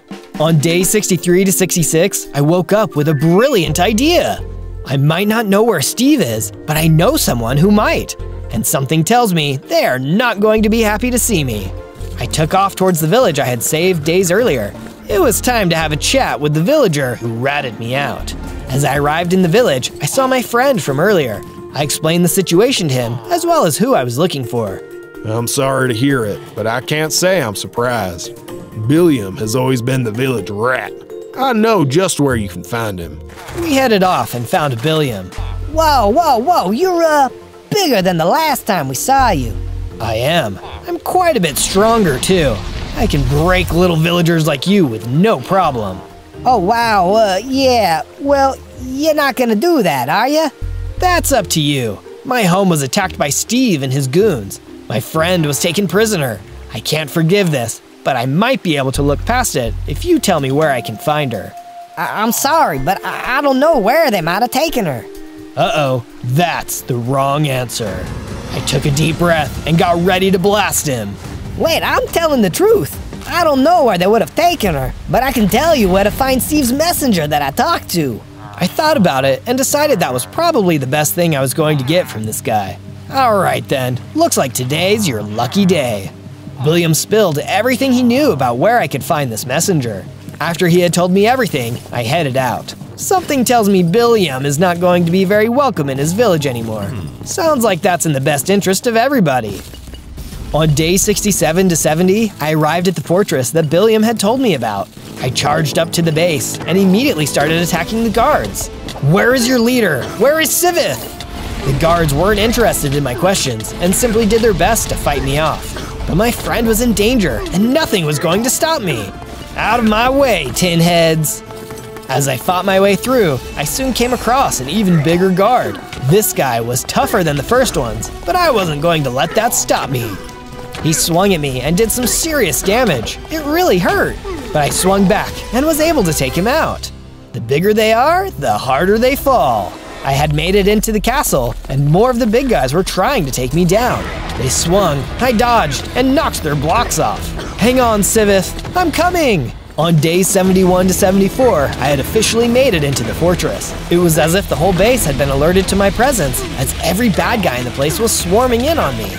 I don't care how many of you there are, I'm going to make it to the top. As I knocked guard after guard out of my way, I eventually found myself inside a library. Wait a second, what's this? I had found some kind of special item. With this, I have the strongest spike attack I can get. Excited with my new ability, I immediately put it to the test. There were some guards up on the balconies, and I managed to take them out. Oh yeah, whoever this guy is, he's in for a real surprise. On days 75 to 78, I made it to what looked like the lair of the castle's boss. You there, you must know where Steve is keeping his prisoners. Tell me, or else. Heh, you really think I'm gonna help a dragon? Look at me. Steve has been stealing the power of the dragons to make us stronger, and there's no way you'll be able to defeat me. What? What does he hope to gain from all of this? Not only will he finally destroy all dragons, but he will become a powerful dragon himself. Then no one can stop us. Yeah? Well, this dragon isn't going to let that happen. Bring it on! The henchman and I started to fight. I did my best to fight him off, but since he had been given dragon powers, he was incredibly strong. This wasn't going to be a simple fight. Do you really think Steve will let you live your life once he's king? He's going to turn on anyone who has even a little bit of power. Silence! You don't know what you're talking about. But it doesn't matter, because you're going to lose. It looked like there was no talking sense into this guy. The fight was getting intense, but it was time to end it. I focused all of my energy, used all of my attacks, and at long last, I won! The henchman was nearly defeated. No! How could I lose to a measly dragon? Last chance, tell me where Steve's base is. Never! The henchman leapt forward to attack me, but I took him out instead. Well, maybe there's something around here that can help me out. On day 79 to 84, I started taking a look around the castle. Wait, what's this? Inside of a chest was a bunch of golden apples. Suddenly, there was a sound outside. As I ran out to look, I could see Steve in the distance, and he was looking right at me. Ah, Zozo, just the one I was looking for. What do you want, Steve? Where's Sivith? Who? Who cares? All you need to know is I finally finished my potion. The power of the dragons is finally mine! I received word you were here, so I thought I'd let you be the first one to see. Steve drank down a potion and suddenly started to change. He turned into a disfigured but powerful dragon. Steve, what have you done? Ha ha ha! Here, let me show you up close. Steve took off into the air and flew toward me. I was strong, but not strong enough for this. I couldn't even fly yet. I had no choice but to run. Come on, Zozo, what's the problem? Afraid of a little fire? I kept running toward my base as Steve continued to chase me. I had to get to cover. We ran across the land and I finally snuck into my base. Steve flew around for a bit, but realized he couldn't fit inside. After a while, he left.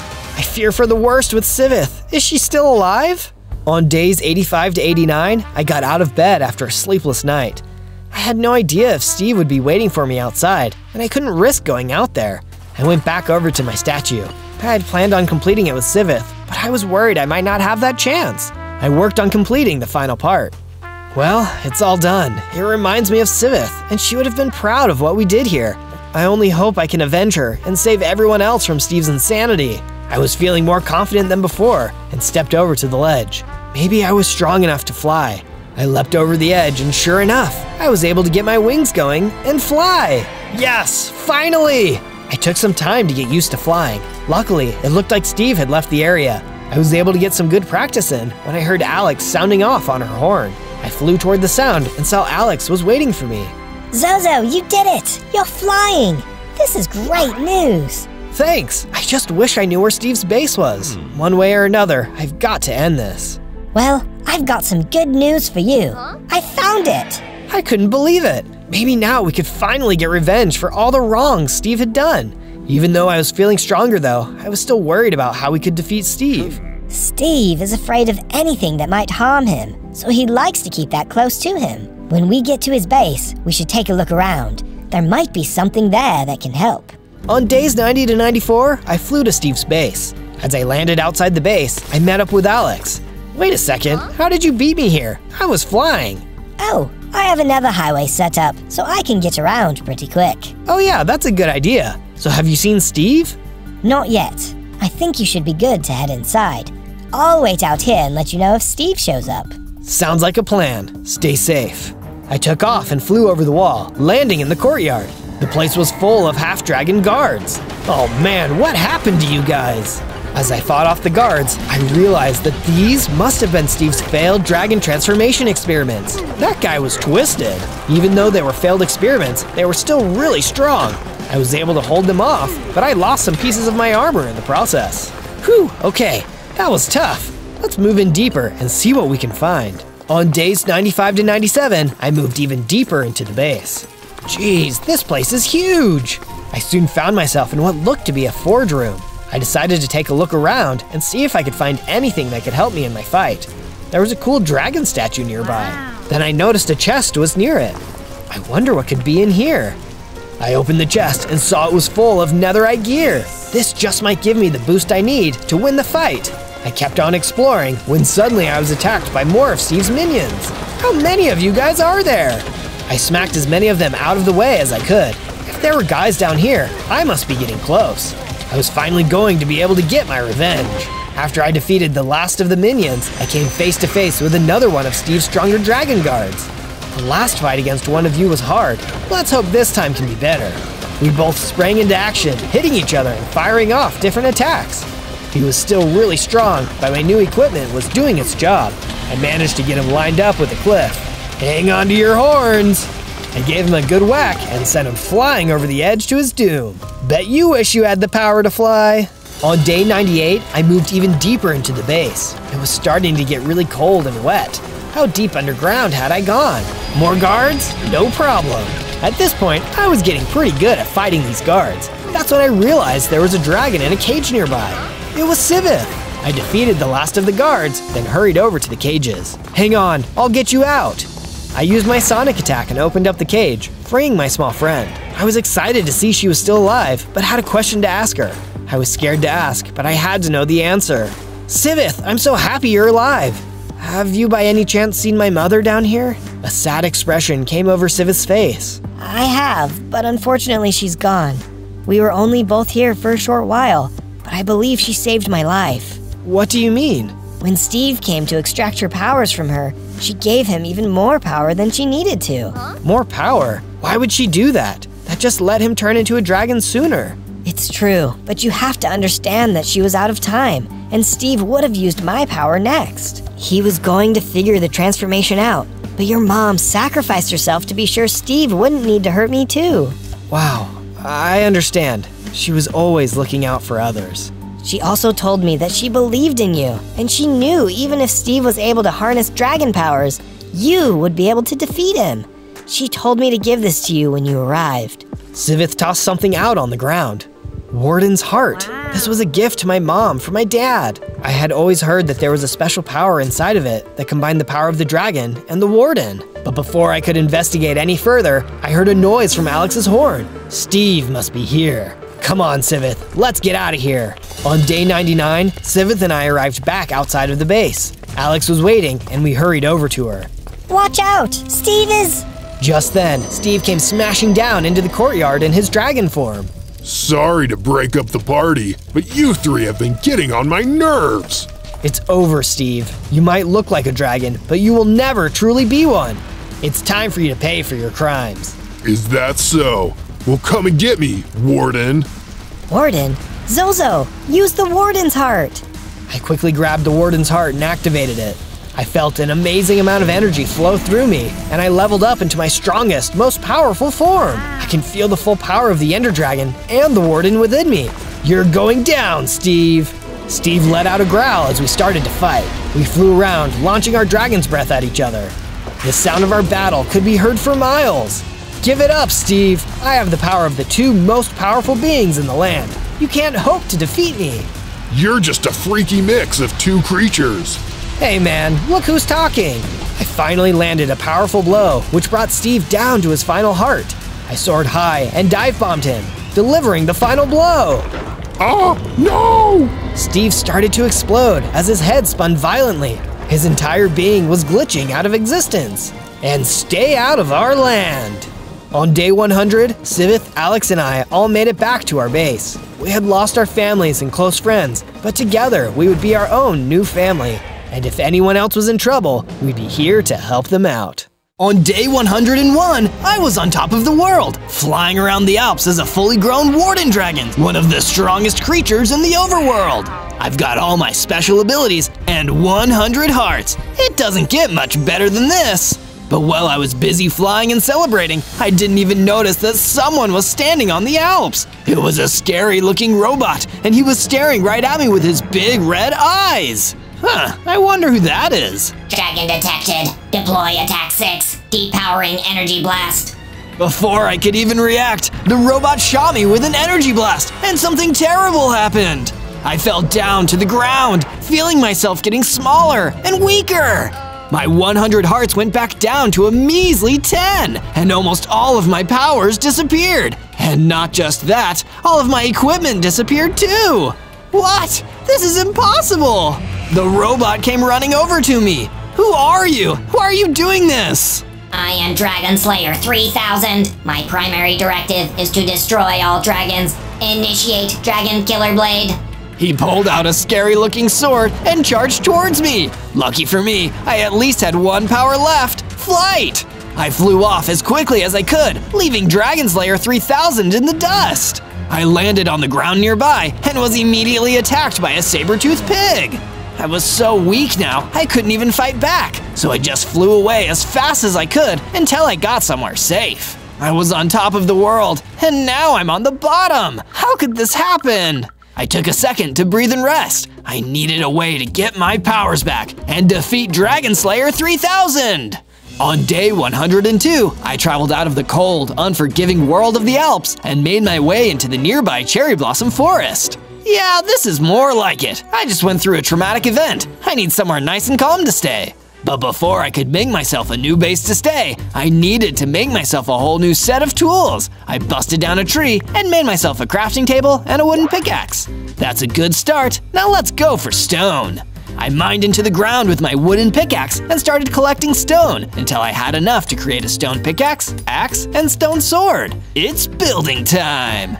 I started cutting down some of the cherry blossom trees until I'd collected enough materials to start constructing my base. I started small at first, seeing as I was small now too, building a room for myself to sleep in. But I didn't have enough material to finish the roof, so I went into the woods to collect more materials. That's when I ran into an angry zombie spoiner. Oh no, this day is bad enough already. I don't want to deal with any zombies today. I pulled out my stone sword and fought him off. Lucky for me, I still wasn't too weak to take down a zombie spoiner. Phew, now back to base building. I collected the materials I needed, then went back to my base to finish off the roof. It was a small base, but it was a good start, and I knew I could build myself back up from here. On day 103, I decided to travel around, hoping to collect some more wood for constructing my base and find out more about the crazy robot that had attacked me back in the Alps. That's why I went to the coniferous forest, but this forest wasn't quite as welcoming as the cherry blossom forest. My big clue was a huge vile ogre who showed up and tried to shake me down for some emeralds. You have to pay the troll toll if you want to pass through this forest, puny dragon. But you're not even a troll. You're an ogre. They're not the same thing. Ugh, what a silly technicality. I'm gonna pound you for that, kid. He gave me a powerful whack after that, taking off a few of my hearts. Remembering the powerful dragon I once was, I pulled out my stone sword and fought back until the vile ogre was defeated. Darn, I'm still injured though. This is the worst. But in my moment of need, a mysterious spirit appeared, the guardian of the forest. Hello, little dragon. You're certainly a rare one. I wasn't always little. Wait, what do you mean I'm a rare one? That terrible machine has been destroying dragons in droves. You're the only one I've seen in ages. Terrible machine?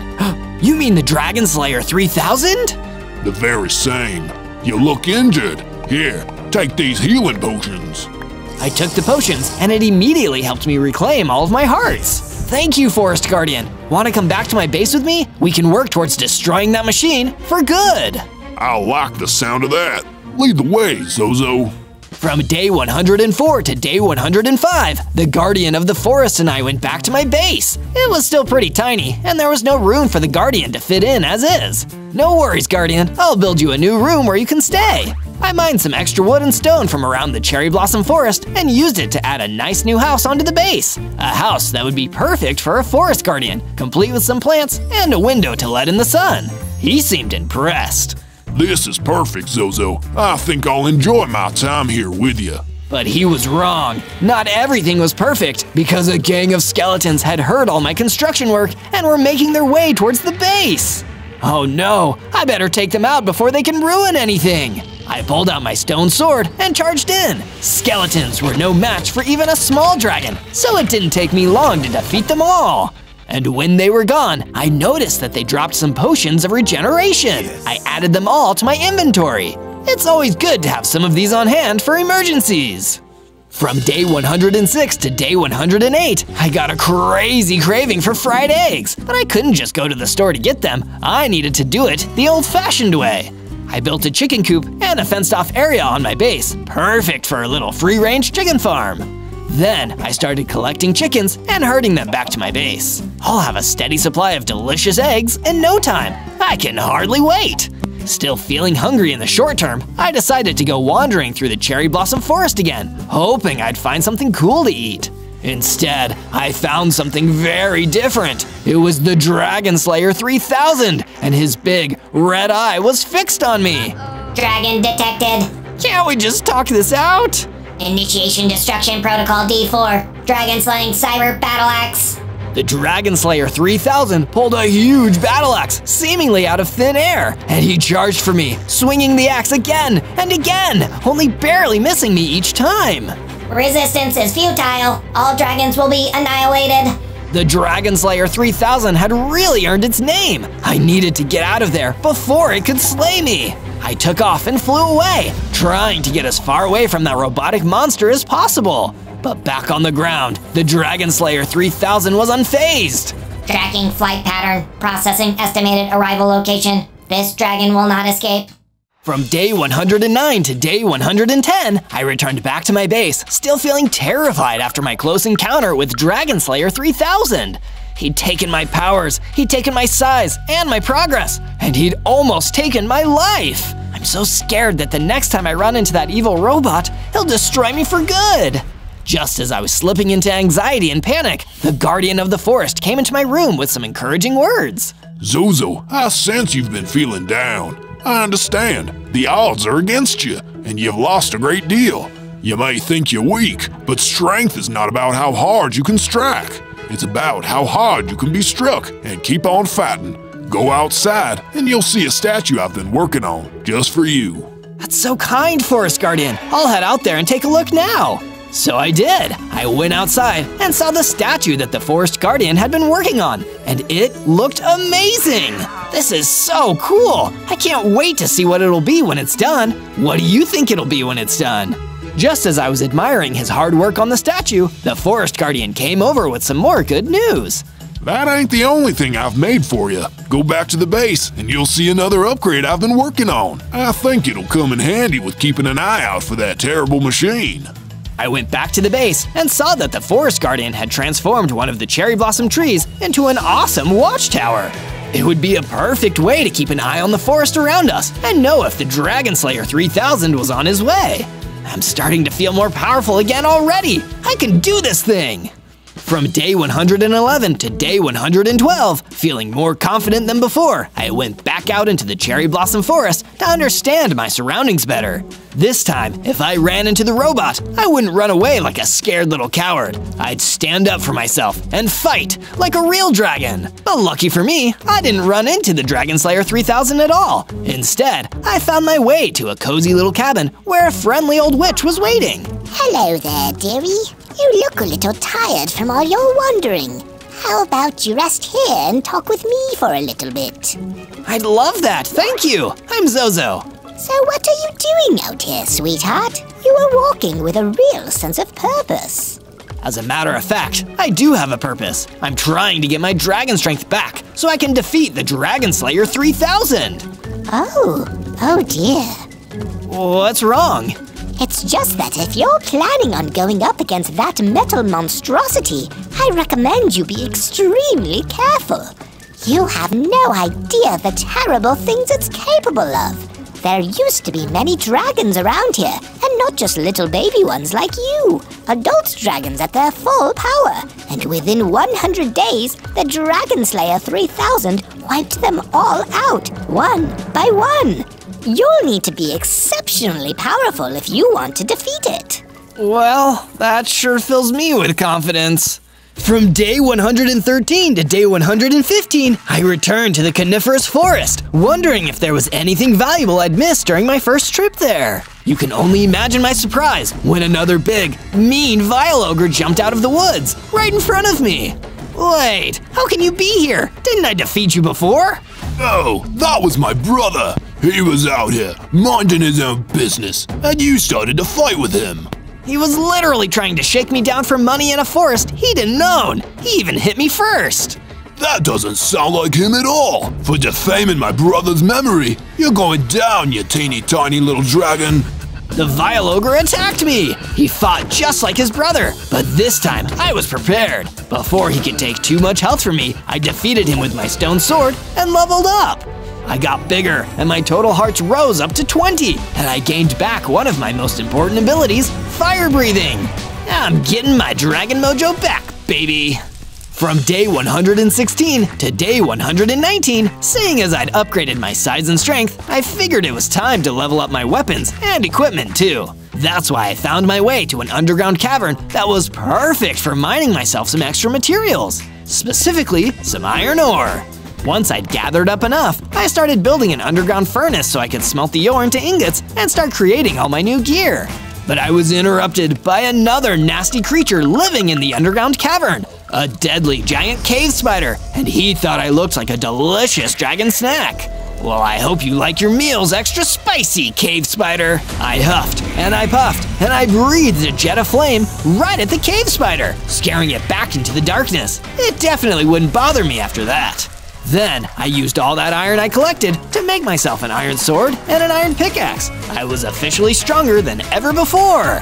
And one day, I'm gonna use this sword to destroy the robot that ruined my life. From day 120 to day 122, I spent one day just resting at the base, having no idea that the day after would bring me my toughest battle yet. That day started with the Guardian of the Forest waking me up in a blind panic and telling me the last thing I wanted to hear at that moment. Zozo, Dragon Slayer 3000, he's here! He's practically outside the gates! We need to stop him before it's too late! Oh no! I ran as quickly as I could. I hoped that I'd been dreaming for a while until I saw that the Forest Guardian was absolutely right. Dragon Slayer 3000 was standing right next to the base, carrying his battle axe. Dragon detected. Initiate destruction methods. Wait! Why do you want to destroy us dragons so badly? Is it something we did to you? What you do to me is irrelevant. My programming dictates that I must destroy all dragons I detect at all costs. Who programmed you like that anyway? You do not need to know. Battle axe attack initiated. Talking time was over. Dragon Slayer 3000 ran at me with his battle axe again, getting two strikes in before I was able to hit him back with my sword. And when I did, it didn't seem to cause much damage. I decided with the threat of getting slain right here in front of me, it was time to unleash my latest dragon power, Fire Breath. I breathed my fire at Dragon Slayer 3000, and it almost seemed to short circuit him for a moment. He backed away, looking confused. Dragon has accessed fire abilities. Activate contingency plan G6. Retreat mode initiated. And with that, the Dragon Slayer 3000 fled back into the forest and out of sight. I hadn't defeated him fully this time, but somehow, after this fight, I finally understood that this monster wasn't invincible. If I kept getting stronger, I could defeat him once and for all. From day 123 to day 126, I was working on creating a weapon upgrade for my iron sword. After seeing how Dragon Slayer 3000 reacted to me using my fire breathing on him, I thought he might have some kind of weakness to fire. That's why I applied the fire aspect enchantment, which would lend extra fire damage to every single swing of my sword. This is really gonna help me out on my quest. And if you'd also like to help me out on my quest, search ZOZO in the search bar to find and watch more adventures with me, Zozo. We're gonna have an awesome time! From day 127 to day 131, the Guardian of the Forest came over to share some less stressful news with me than the last time. Zozo, I've done more work on the statue. Come check it out. Of course, I'll be right over. I met with the Guardian outside and saw all of the amazing work he'd been doing on the statue. It looked so cool. The Guardian certainly had a real talent for building statues. But for this next part, I need your help, Zozo. The statue is coming along nicely, but I need some ebony logs to really take it to the next level. Would you be able to journey out to the ebony forest and get me some? I'll be there and back before you know it. That was a bit of an exaggeration, but I did travel out to the Ebony Forest as quickly as I could gather up the material I needed for the Forest Guardian statue. On the way there, I ran into an Enderman who really didn't like intruders entering his forest, even if they were just dropping in to grab some equipment. You better not tell me I need to pay the Enderman toll. Thankfully, some fire breath was enough to scare the Enderman away. And I was able to gather up plenty of the material the Guardian of the Forest needed to keep building and improving the statue. From day 132 to day 135, I started making my way back to the Ebony Forest, eager to give all the materials I'd gathered over to the Forest Guardian. On the way there, though, things started to get strange. I spotted a flying ghast, which is normally only seen in the nether. What are you doing out here? The ghast obviously didn't reply. They attacked me with their ranged attack, and I replied in kind and flew up towards it and hit it with my fire breath, knocking the ghast out of the sky. It feels so good to be a dragon. As I continued my journey back towards my base, I ran into a worried looking piglin. I stopped to see if he needed any help. Hey, little piglin, don't be afraid. You look like you need a hand. Anything I can help with? Oh, oh yes, thank goodness. You've really saved my bacon here. My uh, piglet friend was kidnapped by an evoker, and his zombie minions and dragged out to the Mojave Desert. I'd go on my own, but I worry I'm not strong enough. And then we both be captured. Don't worry, Piglin. I'll get right on it. And with my new quest, I set off. From day 136 to day 139, I traveled until I reached the Mojave Desert. It was exhaustingly hot and dry out there, but it didn't take me long to discover a mini base set up deep in the scorching heat of the Mojave. It was a fenced off area surrounded by patrolling hordes of zombies. Inside the camp, a piglin was locked in a cage, and the evoker stood there, talking to him. We'll see how much your friend cares about you, little piglin. Maybe if he comes and gives me the money we agreed to, I'll let you both go. Or maybe I'll just kidnap you both. Please, you can't do that. You're in my clutches, piglin. You can't tell me what I can and can't do. I'm holding all the cards here. Watching this happen, I knew I needed to get in there and stop this. I'd free the piglin and defeat that evil evoker, and my dragon powers would help me do it. From day 140 to day 143, I launched my plan to defeat the evoker and save the piglin. Rather than fighting all the zombies gathered outside, I flew and lowered myself down into the camp from above.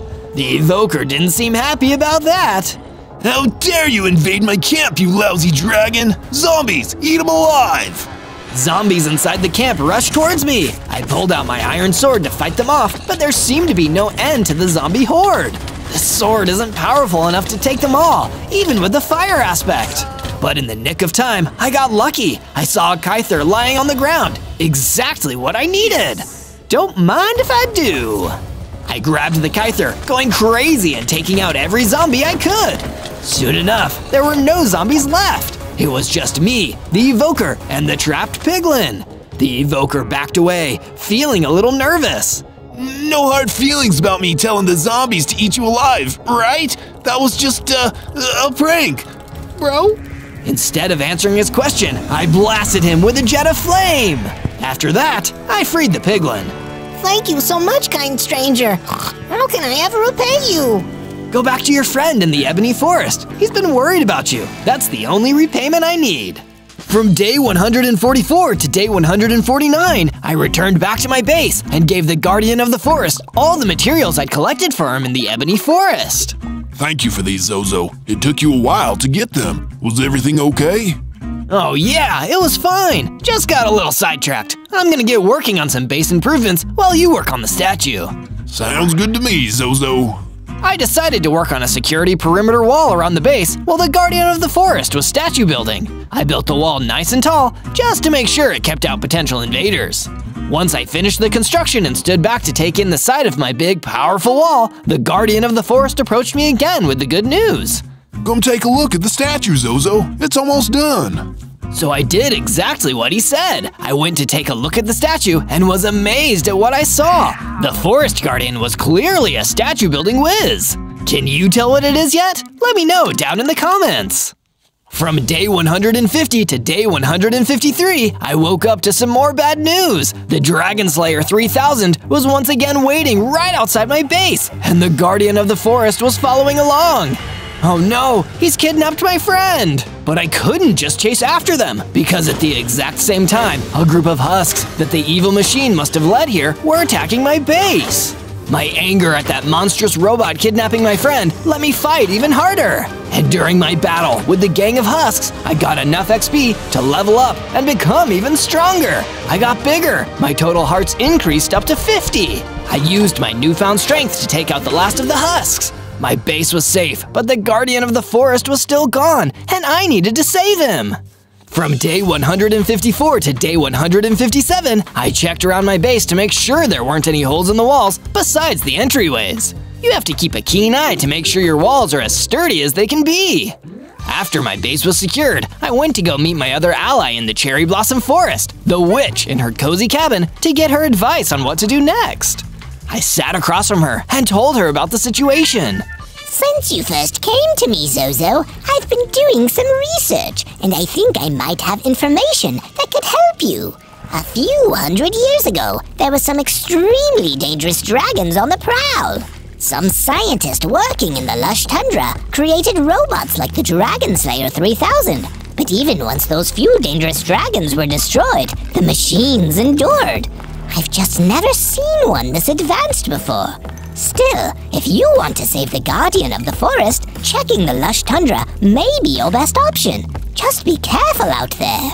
From day 158 to day 162, knowing that my best friend was trapped in the territory of my most dangerous enemy, I needed to get better weaponry. That's why I once again returned to the underground cavern where I did my previous mining. And as usual, I had another guest while I was down there. What I wasn't expecting was for that guest to be a creeper. I panicked as it skittered towards me, ready to explode. It was terrifying, but I managed to get away just in time. Boom! The creeper exploded. If the Dragon Slayer 3000 doesn't get me, the stress of these 100 days is gonna be what finishes me off. At first, I thought this was just another one of my many near-death experiences, but these lemons came with a free side of lemonade. In the crater left by the creeper exploding, there were a bunch of diamonds. It looks like my luck is finally turning around today. I gathered up all the diamonds and forged them into a powerful diamond sword, a perfect weapon for taking on that diabolical droid. Now all I needed was the courage to actually go and do it, knowing how scary and dangerous the Dragon Slayer 3000 truly was. From day 163 to day 166, I returned back to my base with my new diamond sword, feeling frightened and worried about what I needed to do, even though my friend's life was at stake. To make myself feel a little better, I gave my diamond sword the fire aspect enchantment, just like with my old iron sword. That would make it a more effective weapon against Dragon Slayer 3000, but I was still afraid. I stood and looked at the statue that the Guardian of the Forest had created for me. It wasn't done yet, and if I didn't save the Forest Guardian, it would never be finished. It would be an eternal reminder that I'd let my friend down. I won't let you down, Forest Guardian. I'm gonna come and save you from that evil machine, no matter the risk. I'm going to the lush tundra, and I'm gonna help you. And if you want to help me, you can subscribe to Zozo and turn on notifications so you never miss another one of my exciting Minecraft adventures. From day 167 to day 170, I put my money where my mouth was and traveled all the way to the lush tundra. I searched around until I discovered what looked like an abandoned factory. This must be where Dragon Slayer 3000 was created. He probably turned it into his base when all the scientists left. If the Forest Guardian is gonna be anywhere, it's here. I ran into the building and immediately found that more hordes of husks had made their home here, just like the ones that he'd led to attack my base. I must have been getting closer. Come at me, husks. You don't stand a chance. The husks did come at me in whole swarms. With my diamond sword, I was able to cut down a lot of them, and I defeated even more with my fiery breath. There was no way I was letting any of those low-level mobs stop me from saving my friend. It wasn't long before I was standing in an empty room, having defeated all of the husks. I kept searching the building, trying to find where they might be keeping my friend. Forest Guardian, it's me, Zozo. I've come here to help you. That's when I heard a voice at the other end of a deep, dark hallway that went into the ground. Zozo! Oh, thank goodness! I'm down here! Please, come save me! I ran down the long hall and saw the room where the Guardian of the Forest was trapped. I didn't waste any time and busted down the bars that were holding him. I'm so glad you're safe, Forest Guardian. I don't even know why he kidnapped you. You're not even a dragon. He's an incredibly intelligent machine, Zozo. I think he kidnapped me just because he knew that you'd come and save me. Let's go back to the base before he realizes you're in here. No, Forest Guardian, I'm sorry. I want you to go back to the base, but I'm through with running. Keep the base safe for me. I'll come back once I've defeated this robot, once and for all. Just be careful, Zozo. I have a feeling he's got at least one more trick up his silver sleeve. With that, the Guardian of the Forest turned and left, and I started going deeper into the Dragon Slayer's base. From day 171 to day 174, I went deeper into the abandoned factory. While in there, I found a dusty old chest locked away in a corner. It contained two things. One was a potion of strength, and the other was a book marked scientist notes. I looked through the book, and it contained the following. We witnessed an extraordinary event in the factory today. Our Dragon Slayer 2000 models seem to have gained true intelligence. In fact, they use this intelligence to construct an entirely new machine, the Dragon Slayer 3000. It's the first machine to be planned and built entirely by other machines. Whoa, that explains why this thing is so cold and cruel. The sooner I can put this rogue robot down, the better. From day 175 to day 178, now knowing of his true origin, I went far enough into the factory to discover Dragon Slayer 3000 waiting for me. Dragon detected. Prepare for your immediate annihilation. Funny, I was about to say the exact same thing to you. I didn't want to waste any more time talking to this evil machine. Instead, I ran in and pulled out my diamond sword. I hit the robot again and again and again, not even giving him a chance to fight back. I wanted to end it there and then. But before I could deliver the final blow, Dragon Slayer 3000 stepped away and ran into a nearby room. I went running after him as fast as I could. I'm not gonna let you get away with this anymore, Dragon Slayer. Your days of hunting us dragons are over. From day 179 to day 184, I entered the main chamber of the factory. It was large and completely abandoned, but I still saw the glowing red eye of the Dragon Slayer 3000 staring at me. But this time, I wasn't going to let him go. I defeated him and sent him running before. Now it was time to finish him off. Time for the Dragon Slayer 3000 to get slayed by a dragon. I've gotta say, Dragon Slayer, I enjoy the irony. I wasn't programmed to have any sense of irony. It is of no use to me. The point is, I'm going to destroy you for everything you've done to me and dragons like me. There's no place in the world for a machine like you.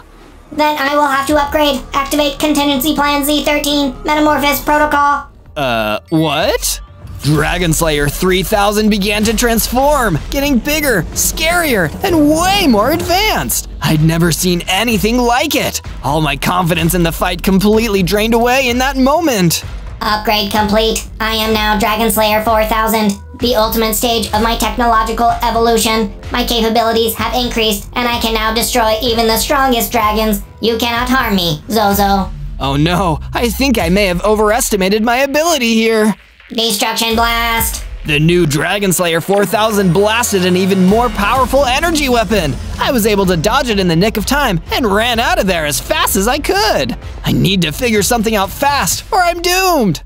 From day 185 to day 189, I returned to my base in a blind panic. I immediately went up to the Guardian of the Forest. Hello again, Zozo. Thank you again for saving me. Ready to celebrate finally defeating Dragon Slayer 3000? Not quite. Kind of the opposite, actually. Dragon Slayer 3000 got even more powerful. He upgraded into Dragon Slayer 4000. And I don't know how I'm gonna defeat him like that. Oh no, that's the last thing we wanted to happen. Here, take this knockback enchantment. It'll make your attacks a little more effective. I believe someone is here to see you. In the meantime, I'm gonna go finish up the statue. Who's come to visit me? It turned out that it was none other than the witch, coming straight to my base to deliver some valuable news. Zozo, I have something that I think you'll want to hear. Please tell me it's good news. Oh yes, very good news. I've tracked down something that can fast track your leveling up. A special potion known as Dragon Serum. It will help you grow into a full-sized dragon with all the relevant special abilities. They say it ran out years ago, but I've tracked down one more bottle of it in a single chest. That's amazing! Do you know where I can find this chest? It's in a place you may find familiar, the Mojave Desert. That's perfect! I'll set off right away. Stay at my base in the meantime, Miss Witch, just to be safe. But before I could leave, I heard the Guardian of the Forest calling out for me. Before you go, Zozo, I have something to show you. The statue is finally finished. Excited to see what the Guardian of the Forest had created, I flew up high towards the mountains next to my base to get a better view. It was amazing! A beautiful statue of a powerful adult warden dragon. It looked exactly like I did before the Dragon Slayer stole all of my power. Thank you, Forest Guardian. This is truly awesome. And when I get my hands on that dragon serum, that's gonna be me again. On day 190 to day 194, I returned once again to the Mojave Desert, where I'd defeated the Evoker and his minions and saved the piglin. If only last time I'd been looking for that chest, this whole thing might have been over a lot sooner. I searched all across the desert, feeling the intense heat on my dragon scales. Whoever had hidden that serum up here must have really wanted to keep it hidden. Eventually, I found a small chest hidden amongst a bunch of sand blocks. I opened up the chest, and inside was one item a potion labeled Dragon Serum. Yes, I found it! I finally found it! I can become a full size dragon, access my complete powers, and use them to even the score against Dragon Slayer 4000! With the Dragon Serum saved in my inventory, I turned and made my way back to my base. From day 195 to day 197, I worked on my final few upgrades, knowing that the battle that would decide the fate of all the dragons in the overworld would soon come to pass. And if I didn't win, Dragon Slayer 4000 might not just wipe out me, he might have wiped out my entire species. I better go in strong then. I gave my sword the Sweeping Edge enchantment to increase its power, and also crafted a full set of iron armor. This would give me a better chance in the final fight. But what if the Dragon Slayer 4000 defeats me, then immediately comes back here to attack my friends? I can't let that happen, or at the very least, I can't make it easy for him. I decided that I wasn't going to, so I built the wall around my base thicker, knowing that I'd buy the Guardian of the Forest and the Witch some time to escape if that evil robot did come looking for them. It's all or nothing now! On day 198, I prepared to leave my base and go to the lush tundra so I could take on and decommission this rogue robot once and for all. But what do you want to see next from Zozo? Search ZOZO on the search bar and leave a comment on one of our videos telling us what you'd like to see next. I always love reading through them. Oh, and wish me luck on my battle with Dragon Slayer 4000. I'm gonna need it. Time to settle that age-old debate of robot versus dragon. On day 199, I returned to the abandoned factory in the lush tundra. When I entered the main chamber of the building yet again, the Dragon Slayer 4000 was waiting for me. Dragon detected. Yeah, yeah, you detected me. Well done. I'm about to get a whole lot easier to detect in a second. Attempts to intimidate me are futile, Zozo. I will be the agent of your destruction. Activate Battle Axe. Turn shields to 100%. Prepare to be destroyed. Time for you to take your own advice, you evil bucket of bolts! Before Dragon Slayer 4000 even had a chance to attack me, I drank the Dragon Serum. In an instant, everything changed. I became a huge, powerful Warden Dragon adult with the 100 hearts I had 100 days ago. But that wasn't all. I had a new power now, the Fireball attack. Dragon detected. Dragon detected. This does not compute. Compute this! Summoning up every last ounce of my strength, I fired a fire blast directly at the Dragon Slayer 4000. No. The blast was so powerful, he was destroyed instantly. I'd reclaimed my former glory, and the dragon hating machine was finally gone for good. On day 200, with the evil of the Dragon Slayer 4000 finally defeated, and all my fallen dragon friends avenged, I returned back to my base. There, the Guardian of the Forest and the Witch were already waiting to congratulate me. For the first time in over a hundred days, I felt like my old dragon self again, and I could finally relax. Don't you just love a happy ending?